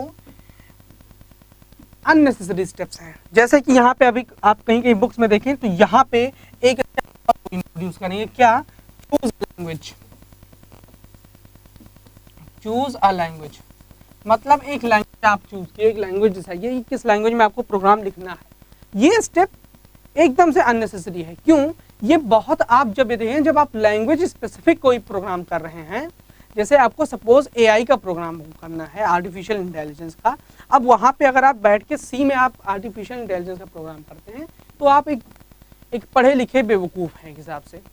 क्यों? क्योंकि आप वहाँ पे पढ़े, आप जानते हैं सी भी आप जानते हैं जावा भी जानते हैं, वहाँ पे आपको पता होना चाहिए कि एआई की प्रोग्राम आप सी में लिखेंगे, बहुत बड़ा हो जाएगा, आपको बहुत समस्या आएँगी। आप वहाँ पे पाइथन यूज़ करेंगे सिंपल सी पता है आपको। अगर आपको कोई सिक्योरिटी बेस्ड प्रोग्राम है मतलब नेटवर्क बेस्ड प्रोग्राम है, आपको नेटवर्क पे डालना है उसको इंटरनेट पे चलाना है तो आप उसको सिंपल पता है कि आप उसको सी में नहीं करेंगे पाइथन में जल्दी नहीं करेंगे, आप जावा यूज़ करेंगे। तो जावा नेटवर्किंग के लिए ही बनी होती है। मेनली जावा का जो डेवलपमेंट होता है अभी हम चलेंगे जब जावा की हिस्ट्री में कि जावा क्यों बना, क्यों जावा की नीड हुई। तो सी थी पहले से सी प्लस प्लस थी ही तो जावा को फिर क्यों बनाया गया, क्या काम लगा ऐसा? एक और प्रोग्रामिंग लैंग्वेज लाई गई। इसीलिए जावा नेटवर्किंग के लिए थी। क्यों नेटवर्किंग में आसानी थी, वो आगे हम पढ़ेंगे। तो आपको ये अपने आप समझ हो जाएगा धीरे धीरे कि हम कौन से काम के लिए कौन सा प्रोग्राम और ये कभी कभी स्पेशल केसेस में होता है, वरना हर काम को, ज़्यादातर कामों को आप किसी भी लैंग्वेज में कोई प्रोग्राम लिख सकते हैं। एडिशन है बैंकिंग सॉफ्टवेयर है, या आपको रेलवेज का टिकटिंग है, कुछ भी सॉफ्टवेयर है, जो ये सॉफ्टवेयर आप किसी भी लैंग्वेज में अपने हिसाब से चूज़ कर करते हैं, जिस लैंग्वेज में आप कंफर्टेबल हों। हम यहाँ जावा सीख रहे हैं तो हम यहाँ बात जो करेंगे जावा की ही करेंगे, बाकी लैंग्वेजेस की नहीं करेंगे। तो ये एक हिसाब से ये इस पर्सपेक्टिव में अननेसेसरी स्टेप है। इस पर्सपेक्टिव में, बाकी पर्सपेक्टिव में आपको कहीं भी जैसे आप एआई वाला मैंने एग्ज़ाम्पल दिया एआई वाले में ये एक बहुत ज़रूरी स्टेप है। आपको वहाँ पता होना चाहिए कि मुझे कौन सी लैंग्वेज यूज़ करनी है। फ़िलहाल के लिए सीक्वेंस जो बेसिक होता है, वो क्या सीक्वेंस होता है कि अलगोरिदम आप बनाए सबसे पहले अपने प्रोग्राम का, फिर आप प्रोग्राम को लिखें। प्रोग्राम को लिखने का मतलब आप एल्गोरिदम है, इसको आप सीधा ट्रांसलेट कर रही हैं। और ट्रांसलेट का मतलब क्या होता है? ट्रांसलेट का यहाँ पर क्या मतलब होगा? ये जो एल्गोरिदम आपने बनाया उस एल्गोरिदम को आप प्रोग्राम जो है, आप जो लैंग्वेज यूज़ करना चाहते हैं, जैसे जावा हम यूज़ कर रहे हैं, उसके सिंटैक्स जो है, उसके जो रूल्स हैं, उसके अकॉर्डिंग आप प्रोग्राम को लिखें। तो एल्गोरिदम बनाए, उसके बाद हमने प्रोग्राम लिखा। फिर क्या होगा? तीसरा क्या होगा? कंपाइलेशन तीसरा ये होगा कंपाइलेशन मतलब आप प्रोग्राम को कंपाइल कीजिए। तो इस पर क्या होगा? इससे प्रोग्राम इससे कंपाइलेशन में दो काम होता है। क्या काम होगा? इससे दो काम होगा। पहला आपको एरर्स जो होंगी, जो सिंटैक्स एरर्स होंगी, ये सिंटैक्स एरर्स एरर्स रिमूव हो जाएँगी। क्यों? क्योंकि जब तक आपका प्रोग्राम सही नहीं होगा सिंटैक्टिकली ग्रामेटिकली वहाँ पे लैंग्वेज के अकॉर्डिंग तब तक वो कंपाइल ही नहीं होगा। तो यहाँ पे एरर्स और दूसरा आपका लैंग्वेज जो होगा, वो ट्रांसलेट हो जाएगा। आपका प्रोग्राम ट्रांसलेट हो जाएगा आगे मशीन कोड में, आगे आपको काम करने के लिए, आपको रन कराने के लिए। चौथा जो होगा वो आपको रन कीजिए। रनिंग एंड टेस्टिंग रनिंग का मतलब खाली रनिंग नहीं करना है। खाली उसको रन नहीं करना है कि रन कर दिए प्रोग्राम चल रहा है, जैसा मन हो ऐसा टेस्टिंग मतलब वहाँ पे आप कुछ सेट वेरिएबल्स हैं सेट वैल्यूज़ हैं पहले से, जो प्रीवियसली डिसाइडेड रहेंगी आपकी। ये वैल्यूज़ हमारी प्रीवियसली डिसाइडेड हैं, उनके अकॉर्डिंग में ये हम ये हम जो है अपना कि उनके अकॉर्डिंग में ये वैल्यूज़ को यूज़ करके ही हम अपना प्रोग्राम लिखेंगे आगे। वो टेस्टिंग के लिए रहेगा। तो आप कुछ वैल्यूज़ डिसाइड कर लीजिए कि हम ये तीन वैल्यूज़ डालेंगे इसमें, और देखिए प्रोग्राम का आउटपुट क्या आता है। तो ये हो गया हमारा टेस्टिंग और फिर जो उसके बाद क्या स्टेप आया था, ये कौन? तीसरा स्टेप था ना, ये चौथा स्टेप था। पांचवा स्टेप यहाँ पे क्या आएगा? डीबगिंग क्योंकि अगर आप एक सिंपल प्रोग्राम लिख रहे हैं तो ज़रूरी नहीं है। अदरवाइज़ आप अगर आप, आपका प्रोग्राम थोड़ा कॉम्प्लेक्स है, थोड़ा सा आप प्रोग्राम बड़ा लेवल जो है बड़ा है तो आप बहुत इनफ चांसेस हैं कि आपके प्रोग्राम में बग्स तो होंगी। क्यों? क्योंकि यही तरीका है जिससे हम सीखते हैं। जो आप बड़े बड़े प्रोग्रामर्स होते हैं, वो प्रोग्रामर्स अच्छे क्यों होते हैं, अच्छी प्रोग्रामिंग क्यों करते हैं? क्योंकि वो डीबगिंग के स्टेप से बहुत थोरोली गए हैं, बहुत थोरोली उन्होंने डीबगिंग सीखी है। क्यों? क्योंकि वो अपने हिसाब से वो सोचते हैं एल्गोरिदम बनाते हैं, उसके अकॉर्डिंग प्रोग्राम लिखते हैं। जब एरर आती है तब तो कंपाइलर टाइम में एरर से रिमूव कर देते हैं कि हाँ ये लैंग्वेज का ये ये रूल्स हैं तो ये रूल्स के अकॉर्डिंग में चलना है। फिर जब समस्या मेन आती है, जब बग्स आती हैं उसमें। बग्स का मतलब यही, ये जो बग्स हैं। बग्स यही मतलब कि प्रोग्राम आप जो चाह रहे हैं, उसके अकॉर्डिंग प्रोग्राम रन नहीं कर रहा है। वहाँ पे आपको एरर्स आती हैं तो आप वो जो एरर्स आप रिमूव करते हैं, चाहे वो रन टाइम एरर्स हो या बग्स हों मतलब आपका प्रोग्राम उस टाइप से नहीं चल रहा है। तो वो डीबगिंग बहुत अच्छे से करते हैं, मैं बहुत ज़्यादा बार उन्होंने डीबगिंग की होती है। डीबगिंग में आपको बहुत फ्रस्ट्रेशन कभी कभी होती है कि आपको समझ नहीं आता कि समस्या एक्चुअली में कहाँ आ रही है। बट जैसे आप धीरे धीरे करेंगे, आपको समझ में आ जाए कि हाँ कहाँ से मुझे जब ये समस्या आ रही है तो इसका जो रूट है वो कहाँ हो सकता है? आपको समझ में आ जाएगा। डीबगिंग आप जब करेंगे तो फिर आप क्या होता है कि डीबगिंग करेंगे। ये एक नेसेसरी स्टेप है किसी भी अच्छे प्रोग्राम का। कि आप प्रोग्रामिंग जब कर रहे हैं तो आप उसको डीबग करेंगे मतलब उसमें बग जो आ रही हैं, जब आप टेस्टिंग करेंगे तो उसमें बग्स आएँगी। मतलब कि जो आप एक्सपेक्टेड वैल्यूज़ हैं, वो आप डालेंगे तो आपको जो एक्सपेक्टेड रिजल्ट्स हैं, वो नहीं मिलेंगे। तो वहाँ पे आप डीबगिंग करेंगे प्रोग्राम को आप फिर से रिवाइज करेंगे, और फिर से डीबगिंग करने के बाद जब आपको लगे हाँ मैंने ये सब सही कर लिया, फिर से यही स्टेप फिर से यहाँ पे आप एंटर कर जाएँगे। फिर से आपको डीबगिंग करने के बाद, फिर कंपाइल करिए, फिर से मतलब उसको फिर से ट्रांसलेट कीजिए एरर्स चेक कीजिए ट्रांसलेट हो जाएगा, फिर से आप रन करके टेस्ट कीजिए अपने वैल्यूज़ पे। और जब तक ये कंप्लीट नहीं हो जाता पूरी तरह से साइकिल कि आपको प्रोग्राम बग फ्री हो जाता है, एकदम एरर फ्री हो जाता है। मतलब जो आप चाह रहे हैं वैल्यूज़ देने पर आउटपुट आ रहा है, तब आप जानिए हाँ प्रोग्राम मेरा कंप्लीट हुआ। अब मेरा जो प्रोग्राम है, एकदम क्लियर हो गया, इसे बोलते हैं डीबगिंग स्टेप तो ये क्या था? डीबगिंग को हम इसी पेज पे लिख सकते हैं, थोड़ी सी जगह बना करके। इसे आसान हो जाएगा। ये पूरा एक पेज में आ जाएगा डीबगिंग मतलब प्रोग्राम से बग्स को रिमूव करना। ये हुआ हमारा जो सीक्वेंस होता है प्रोग्राम को लिखने का, कि प्रोग्राम हम एक्चुअली अपना लिखते कैसे हैं।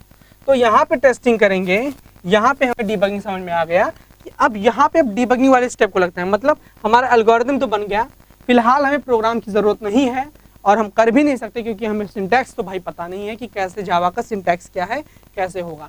तो अभी हम एल्गोरिदम में ही अपनी टेस्टिंग करेंगे। मतलब ये स्टेप फ़िलहाल के लिए हम, ये स्टेप हम स्किप कर रहे हैं।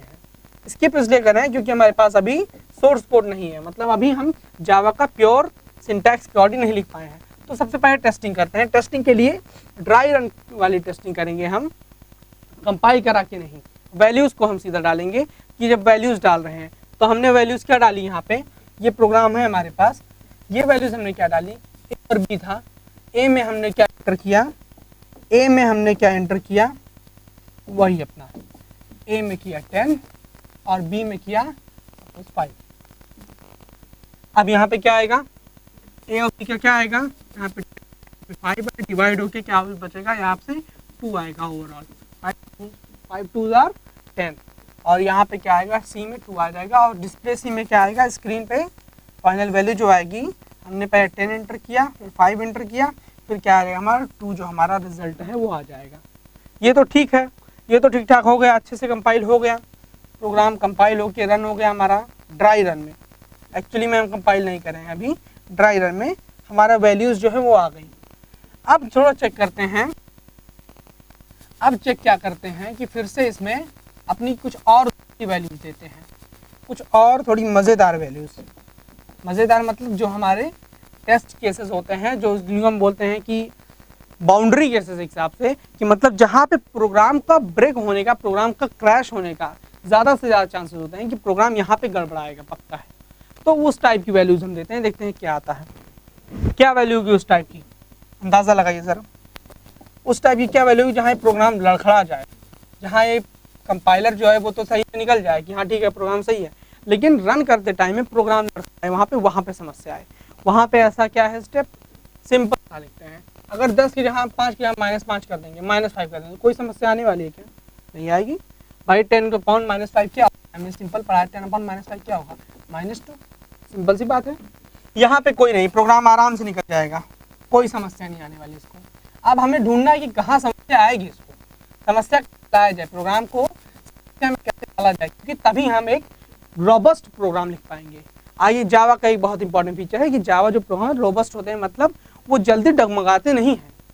जो प्रोग्राम आप एक बार लिख देते हैं, जो अच्छे से एक बार आप टेस्टिंग करके उस डिबगिंग करके प्रोग्राम बना देते हैं, वो रोबस्ट होते हैं। मतलब आप उनको थोड़ा सा इधर वैल्यूज़ भी देंगे तो भी वो अपना थमे रहेंगे, लड़खड़ाएँगे नहीं प्रोग्राम क्रैश नहीं होगा आपका। तो यहाँ पे उसको समझने के लिए हम वैल्यूज़ क्या देंगे? मैं तो वैल्यूज़ देने जा रहा हूँ, इसको दूँगा टू और इसको सॉरी थोड़ा अपना जो रंग है वो हम बदलेंगे। इससे हमें समझ कि हमारी वैल्यूज़ क्या है। तो इसको मैं दूँगा टू और इसको मैं दूँगा ज़ीरो अब सोचिए यहाँ पे क्या होगा? ये टू आया यहाँ पे अब एक आप ह्यूमन बीइंग को दे दें, जो प्रोग्राम लिख रहा है कंप्यूटर बनाया है, उसको दे दें टू बाई ज़ीरो तो खुद लड़खड़ाएगा ये इसका वैल्यू क्या होगा। नहीं कर पाएगा, तुरंत लड़खड़ा जाएगा। अब यहाँ पे क्या होगा प्रोग्राम सोचिए क्या करेगा। प्रोग्राम जब हम बनाएँगे तो प्रोग्राम क्या करेगा? प्रोग्राम यहाँ पे लड़खड़ाएगा मतलब अब यहाँ पे वो लड़खड़ाएगा मतलब यहाँ पे वो क्रैश होगा होगा। क्रैश होने का मतलब क्या हो जाएगा कि प्रोग्राम यहाँ पे टू बाई ज़ीरो जैसे आएगा। प्रोग्राम अब कंपा जो मशीन है आपका प्रोसेसर वो इसको प्रोसेस नहीं कर पाएगा। ये इंस्ट्रक्शन वो है, ये वैल्यू वो प्रोसेस नहीं कर पाएगा, क्योंकि टू को हम ज़ीरो किसी नंबर को ज़ीरो से डिवाइड करेंगे, वो इन्फिनिटी आता है, या अनडिफाइंड बोलते हैं उसको हम, कि वो अनडिफाइंड बिहेवियर है, कि वहाँ पे क्या वैल्यू आएगी। कुछ नहीं पता है। ज़ीरो से आप डिवाइड करते रहिए ज़ीरो ही आने वाला है, वो नंबर आप कभी नहीं पहुँच पाएँगे। यहाँ पे प्रोग्राम लड़खड़ाएगा, यहाँ पे प्रोग्राम क्रैश हो जाएगा। और चूँकि ये जावा में है तो जावा में यहाँ पे क्या आएगा? आपने यहाँ पे लिखा टू एक ही जगह लिखा टू यहाँ पे एंटर किया ज़ीरो यहाँ पे आपको बहुत सुंदर सा, एकदम प्यारा से लिख के आएगा। क्या लिख के आएगा? Divide by zero divide by zero error ये एग्जैक्ट नहीं लिखा मैंने कि हो सकता है थोड़ा सा उसकी जो लैंग्वेज हो, जो आपका प्रोग्राम का जो लिख रहा है कंसोल में लैंग्वेज थोड़ी अंतर हो। लेकिन मैन मेन उसका मतलब यही रहेगा कि एरर एक आएगी जिसके वजह भाई आप ज़ीरो से डिवाइड कर रहे हैं, ये काम हमसे हो नहीं पाएगा। आप किसी और से करवाइए, ये काम मुझसे नहीं हो पाएगा। ज़ीरो से मैं डिवाइड नहीं कर पाऊँगा। यहाँ पे ये बोलते हैं, इन टाइप की चीज़ों को बोलते हैं हम एक्सेप्शंस एक्सेप्शंस क्या होती हैं? Exceptions are run time errors जैसे अभी हमने देखा था कंपाइल टाइम एरर्स पिछले में हमें क्या देखा था? कंपाइल टाइम एरर्स मतलब हम जब कंपाइल कर रहे थे जो ट्रांसलेटर था, हमारा कंपाइलर था, उसको समझ में नहीं आई थी वैल्यू तो वो क्या किया था? वहीं रुक गया था, बताया था ये आपका लाइन यहाँ पे गड़बड़ी है, मैं इसको ट्रांसलेट नहीं कर सकता। वो ऐसा टाइम में हमारा कंपाइल तो हो गया, लेकिन रन नहीं हो पाएगा यहाँ पे भाई। रन क्यों नहीं हो पाएगा? क्यों रन नहीं हो पाएगा? इसीलिए रन नहीं हो पाएगा, क्योंकि प्रोग्राम में हमने जो वैल्यूज़ उसको ट्रांसफ़र की हैं, वो गलत दे दी हैं। मतलब गलत मतलब ऐसी दे दी हैं जहाँ पे वो एग्जीक्यूट नहीं हो सकता है। तो ये क्या देगा? यहाँ पे रन टाइम एरर देगा, यानी एक्सेप्शन देगा। एक एक्सेप्शन थ्रो करेगा कि आप डिवाइड बाई ज़ीरो कर रहे हैं, आप ज़ीरो से डिवाइड करने की कोशिश कर रहे हैं। ठीक है? तो ये हो गई हमारी रन टाइम एरर इसे हम क्या बोलेंगे? रन टाइम एरर या एक्सेप्शन बोलेंगे। एक्सेप्शन बोलेंगे। इन टाइप की चीज़ों को बोलते हैं एक्सेप्शन तो एरर क्या हो गई? एक सिंटैक्स एरर हो गई। एक सिंटैक्स हो गई।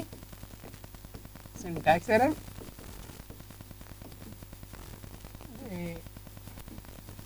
एक क्या हो गई हमारी सिंटैक्स एरर दूसरी हमारी लॉजिकल एरर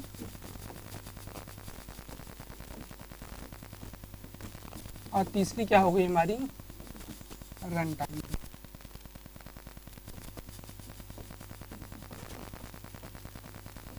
ये क्या है? सिंटैक्स एरर क्या है? ये कंपाइल टाइम एरर है। ये क्या है? कंपाइल टाइम एरर है। कंपाइल टाइम में आ जाएगी कंपाइलर इसको तुरंत पकड़ लेगा कि गड़बड़ है। लॉजिकल एरर क्या है? लॉजिकल एरर्स वो हैं जो आपकी बग्स को जनरेट करती हैं। इनसे आपको क्या मिलता है? आपको इनसे प्रोग्राम में बग्स आते हैं। बग्स मतलब अनएक्सपेक्टेड बिहेवियर मतलब मिसबिहेव करेगा प्रोग्राम आपका, आप जो चाह रहे हैं प्रोग्राम रन तो कर जाएगा, लेकिन आप जो चाह रहे हैं, वो वैल्यू नहीं आने पाएगी। क्यों? क्योंकि आपने वहाँ पे कोई लॉजिकली कोई गलत चीज़ लिखी है वहाँ पे। और ये तीसरा है रन टाइम एरर ये क्या करता है? ये आपके एक्सेप्शंस को जनरेट करता है। जावा में एक्सेप्शंस को आपको जनरेट करता है। एक्सेप्शंस मतलब क्या? वही चीज़। मतलब ऐसी कंडीशंस यहाँ पे आपका कंपाइलर लटक गया था। कंपाइलर रुक गया था कि मैं कंपाइल नहीं कर पाऊँगा ट्रांसलेट नहीं कर पाऊँगा। यहाँ पे आपका प्रोसेसर लटक जाएगा। वो रुक जाएगा कि अब यहाँ पे मैं इसको एग्जीक्यूट नहीं करा पाऊँगा। ये आपने जो स्टेटमेंट मुझे जो इंस्ट्रक्शन दिया है, ये काम मैं नहीं कर पाऊँगा। ये गलत काम है, ये ऐसा हो ही नहीं सकता मुझसे। ऐसा टाइप का है। तो यहाँ पे ये हो गया सिंटैक्स एरर क्या देती हैं? कंपाइल टाइम एरर है, ये सिंटैक्स एरर्स होती हैं। लॉजिकल एरर्स जो होती हैं जिससे आपने मल्टीप्लाई के जो ऐड की जगह मल्टीप्लाई कर दिया था, वो आपकी बग्स को जनरेट करती हैं। मतलब अनएक्सपेक्टेड बिहेवियर और जो रन टाइम एरर्स होती हैं, वो क्या करती हैं? आपकी एक्सेप्शंस को जनरेट करती हैं। और ये सब जो टर्म्स थे जो हमने अभी तक पढ़े कंपाइलर क्या होता है? कंपाइलर के बाद लोडर क्या हो कंपाइलर क्या होता है? इंटरप्रेटर क्या होता है? और लोडर क्या होता है? लिंकर क्या होता है? और फिर ये जो टेस्टिंग क्या होती है टेस्टिंग कैसे करते हैं? डीबगिंग कैसे करते हैं? यहाँ पे अब जैसे यहाँ पिछले वाले प्रोग्राम में हमने देखा, जो लिखा था हमने, जहाँ पे जैसे एरर आए कि हमको समझ आया कि हम कहीं पे ज़ीरो से डिवाइड कर रहे हैं। यहाँ पे हम क्या करेंगे, इसको फिर से डीबग करेंगे। डीबग करने के लिए हम प्रोग्राम में जाएँगे। यहाँ पे हमें दिखेगा कि हमने भैया ज़ीरो से यहाँ पे डिवाइड करने की कोशिश की है। यहाँ पे लाइन नंबर जब एरर आती है ऐसी, ये जो रन टाइम में आती है तो वह कंपाइलर क्या करता है, दिखाता है कि आपके प्रोग्राम में फला लाइन में ये, इस पर्टिकुलर लाइन में आपके प्रोग्राम में ये एक्सेप्शन आ रही है। यहाँ से ये लाइन एक्सेप्शन थ्रो कर रही है। मतलब यहाँ से लाइन आपकी कुछ गड़बड़ा रहा है इंस्ट्रक्शन मुझे गलत इंस्ट्रक्शन आ रहा है यहाँ से लाइन से। वहाँ आपको थर्ड लाइन में जाएँगे, आपको पता लग जाएगा कि हमें ज़ीरो से यहाँ पे डिवाइड हो रहा है। मतलब जो वैल्यू हम दे रहे हैं ज़ीरो दे रहे हैं। तो क्या कर लेंगे पहले ही चेक करें यूज़र से कह दें कि आप ज़ीरो नहीं दीजिए। या फिर अगर ज़ीरो डाल भी देगा तो हम पहले उसको चेक कर लेंगे कि अगर ये वैल्यू ज़ीरो है तो हम डिवाइड पे जाएँगे नहीं। सीधा वहीं बोल देंगे कि आपका, आपने गलत वैल्यू दी है इनवैलिड इनपुट है आपका, हम आप डिवाइड करेंगे ही नहीं। तो ये हमारा होगा यहाँ पे डिबगिंग इस टाइप से करेंगे। लाइन नंबर देखें कि किस लाइन पे हमारा समस्या आ रही है, किस लाइन में हमारा एक्सेप्शन आ रहा है, और वहाँ से रुकेंगे। तो ये था हमारा आज का जो बेसिक था। हमने आज सीखा कि आज प्रोग्रामिंग के जो बेसिक्स हैं वो क्लियर हो गए हमारे। ये प्रोग्रामिंग में ये कुछ स्टेप्स हैं, कुछ टर्मिनोलॉजीज़ हैं, जिनको हमें जानना बहुत ज़रूरी है, ताकि हम जावा प्रोग्रामिंग में घुस पाएँ, कि जावा प्रोग्रामिंग में हम एंटर हो पाएँ, कि जावा में हम प्रोग्राम्स कैसे लिखेंगे। और एक सबसे इंपॉर्टेंट एक रोबस्ट प्रोग्राम कैसे लिखेंगे? रोबस्ट प्रोग्राम का मतलब यही कि ऐसा प्रोग्राम जो लटके ना मतलब जब आप उसको जो एक्सट्रीम केसेस होते हैं, जो ऐसे बाउंड्री कंडीशंस होते हैं उन जाए, जब डिवाइड टाइम पे आप ज़ीरो दे दें, या आपको एडिशन टाइम पे आप बहुत बड़ा नंबर दे दें, वहाँ पे आपका प्रोग्राम डगमगाए नहीं। वो सही चले वैल्यू वैल्यू ना दे, वो ठीक है, कोई बात नहीं। वो बोल दे कि आपका प्रोग्राम गलत है, आपने गलत वैल्यूज़ डाली हैं। लेकिन वहाँ पे ये एक्सेप्शन वगैरह नहीं आए। इसको हम कहते हैं रोबस्टनेस बोलते हैं। तो ये जब हम डिसाइड करेंगे, जब तक हम ये टेक्नोलॉजीज़ नहीं जानते, तब तक हम ये नहीं कर पाते कि प्रोग्राम हमारा एक रोबस्ट प्रोग्राम कैसे लिखें। तो इसीलिए टर्मिनोलॉजीज थी, सारी टर्मिनोलॉजीज हमें क्लियर हुई। तो दो मिनट में इसका रिवीजन कर लेते हैं कि आज हमने क्या पूरा देखा। ओवरऑल तो आज सबसे पहले हमने लिंकर देखा, जो सब अलग अलग मॉड्यूल्स को एक में लिंक करता है। मॉड्यूल मतलब अलग छोटे छोटे पार्ट्स होते हैं प्रोग्राम को छोटे छोटे पार्ट्स में हम तोड़ देते हैं। तो ये था हमारा लिंकर का काम कि उन सब पार्ट्स को, उन मॉड्यूल्स को एक में कंबाइन करके हमारा जो फाइनल एग्जीक्यूशन है वो कराए। दूसरा था हमारा लोडर लोडर का क्या काम था? ये सिंपल सा प्रोग्राम होता है, अंदर बहुत ही कॉम्प्लेक्स होता है मतलब बहुत इसका इंपॉर्टेंट रोल है। हमें समझने के लिए बस यही है कि ये ऐसा प्रोग्राम होता है जो हमारे प्रोग्राम को जो इंस्ट्रक्शंस होते हैं और जो डेटा वैल्यूज़ होती हैं, उनको मेमोरी में लोड करता है ताकि प्रोसेसर उनको प्रोसेस कर पाए। ये लोडर था। तीसरा हमारा क्या था भाई? तीसरा हमारा ये था। थोड़ा ऊपर चला गया। ये हमारा जो था एल्गोरिदम क्या होता है? हमने थोड़ा समझा था कि एल्गोरिदम एक क्या होता है। Step by step solution to a problem किसी प्रॉब्लम का स्टेप बाय स्टेप सोल्यूशन होता है एल्गोरिदम ये था। और उसके बाद फिर हम देखा था कि अगर प्रोग्राम को हम कराएँगे तो हम जो एक दूसरा इंपॉर्टेंट चीज़ जो आई थी टेस्टिंग यहाँ पे आई थी। एल्गोरिदम लिखने के लिए हमें सबसे पहले आई थी कि टेस्टिंग क्या होती है। टेस्टिंग प्रोग्राम की कैसे करते हैं? ये यहाँ पे, लोडर के बाद वाले पे, यहाँ पे। हमने ये एल्गोरिदम लिखा था एक छोटा सा, दो नंबर्स को ऐड करने का। फिर उनमें हमने नंबर्स की दस और ए और बी की वैल्यूज़ डाली थी और चेक किया था कि हमारा फाइनल जो रिज़ल्ट आ रहा है, वो क्या आ रहा है। तो ये था हमारा टेस्टिंग लिंकर हो गया लोडर हो गया टेस्टिंग हो गई। फिर आया हमारा सबसे इंपॉर्टेंट वाला स्टेप जो सबसे लास्ट में करते हैं, लेकिन सबसे ज़रूरी होता है डीबगिंग मतलब टेस्टिंग के समय पे एक्सपेक्टेड आउटपुट ना आए तो वहाँ पे हम प्रोग्राम में कहते हैं प्रोग्राम भाई बगी है आपका। ये प्रोग्राम में आपके बग्स हैं। तो प्रोग्राम से बग्स को रिमूव करने की प्रोसेस को कहते हैं डीबगिंग डीबगिंग के लिए क्या होते हैं? हमें कुछ टर्म्स जानने थे। टर्म्स क्या थे हमारे? ये तीन टर्म्स थे। हम्म, ये। सिंटैक्स एरर क्या होती है? लॉजिकल एरर क्या होती है? और रन टाइम एरर क्या होती है? ये हमने जाना सिंटैक्स एरर होती है जो कंपाइल टाइम पे एरर देते है। कंपाइलर लॉजिकल एरर्स होती हैं, जो हम ना कंपाइलर ना डिटेक्ट कर पाता है ना हम डिटेक्ट कर पाते हैं। लास्ट में हमारे प्रोग्राम को ये इम्प्रॉपर इसका एग्जीक्यूशन करते हैं। मतलब प्रोग्राम जो हम चाह रहे हैं, वो नहीं आएगा, वो बग्स को क्रिएट करते हैं। और फिर हमारा आया तीसरा रन टाइम एरर्स ये एरर्स ऐसी होती हैं, जो लास्ट में जो प्रोसेसर है, वो समस्या में आ जाता है। ये इंस्ट्रक्शंस मैं एग्जीक्यूट नहीं कर पाऊँगा तो वहाँ पे एक्सेप्शन थ्रो कर देता है। एक्सेप्शन आती है जेवीएम के थ्रू जेवीएम कहता है कि ये एक्सेप्शन आपके प्रोग्राम में आ गई। एक्सेप्शनल कंडीशन हो गई, इसे हम एग्जीक्यूट नहीं कर सकते हैं। तो ये तीन थी हमारी बेसिक जो थे। हमें डीबगिंग के लिए समझनी थी। फिर हमने समझा कि डीबगिंग क्या होती है। डीबगिंग कैसे करते हैं? कैसे करते हैं डीबगिंग कि जब हमारा एरर आ रहा है, कोई समस्या आ रही है तो फिर से हम प्रोग्राम अपना ओपन करते हैं। उसको वही सीक्वेंस प्रोग्राम ओपन करने के बाद, जहाँ पे हमें गलती रहती है, उस गलती को हम सुधारते हैं। फिर से जो सीक्वेंस है वो फॉलो करते हैं।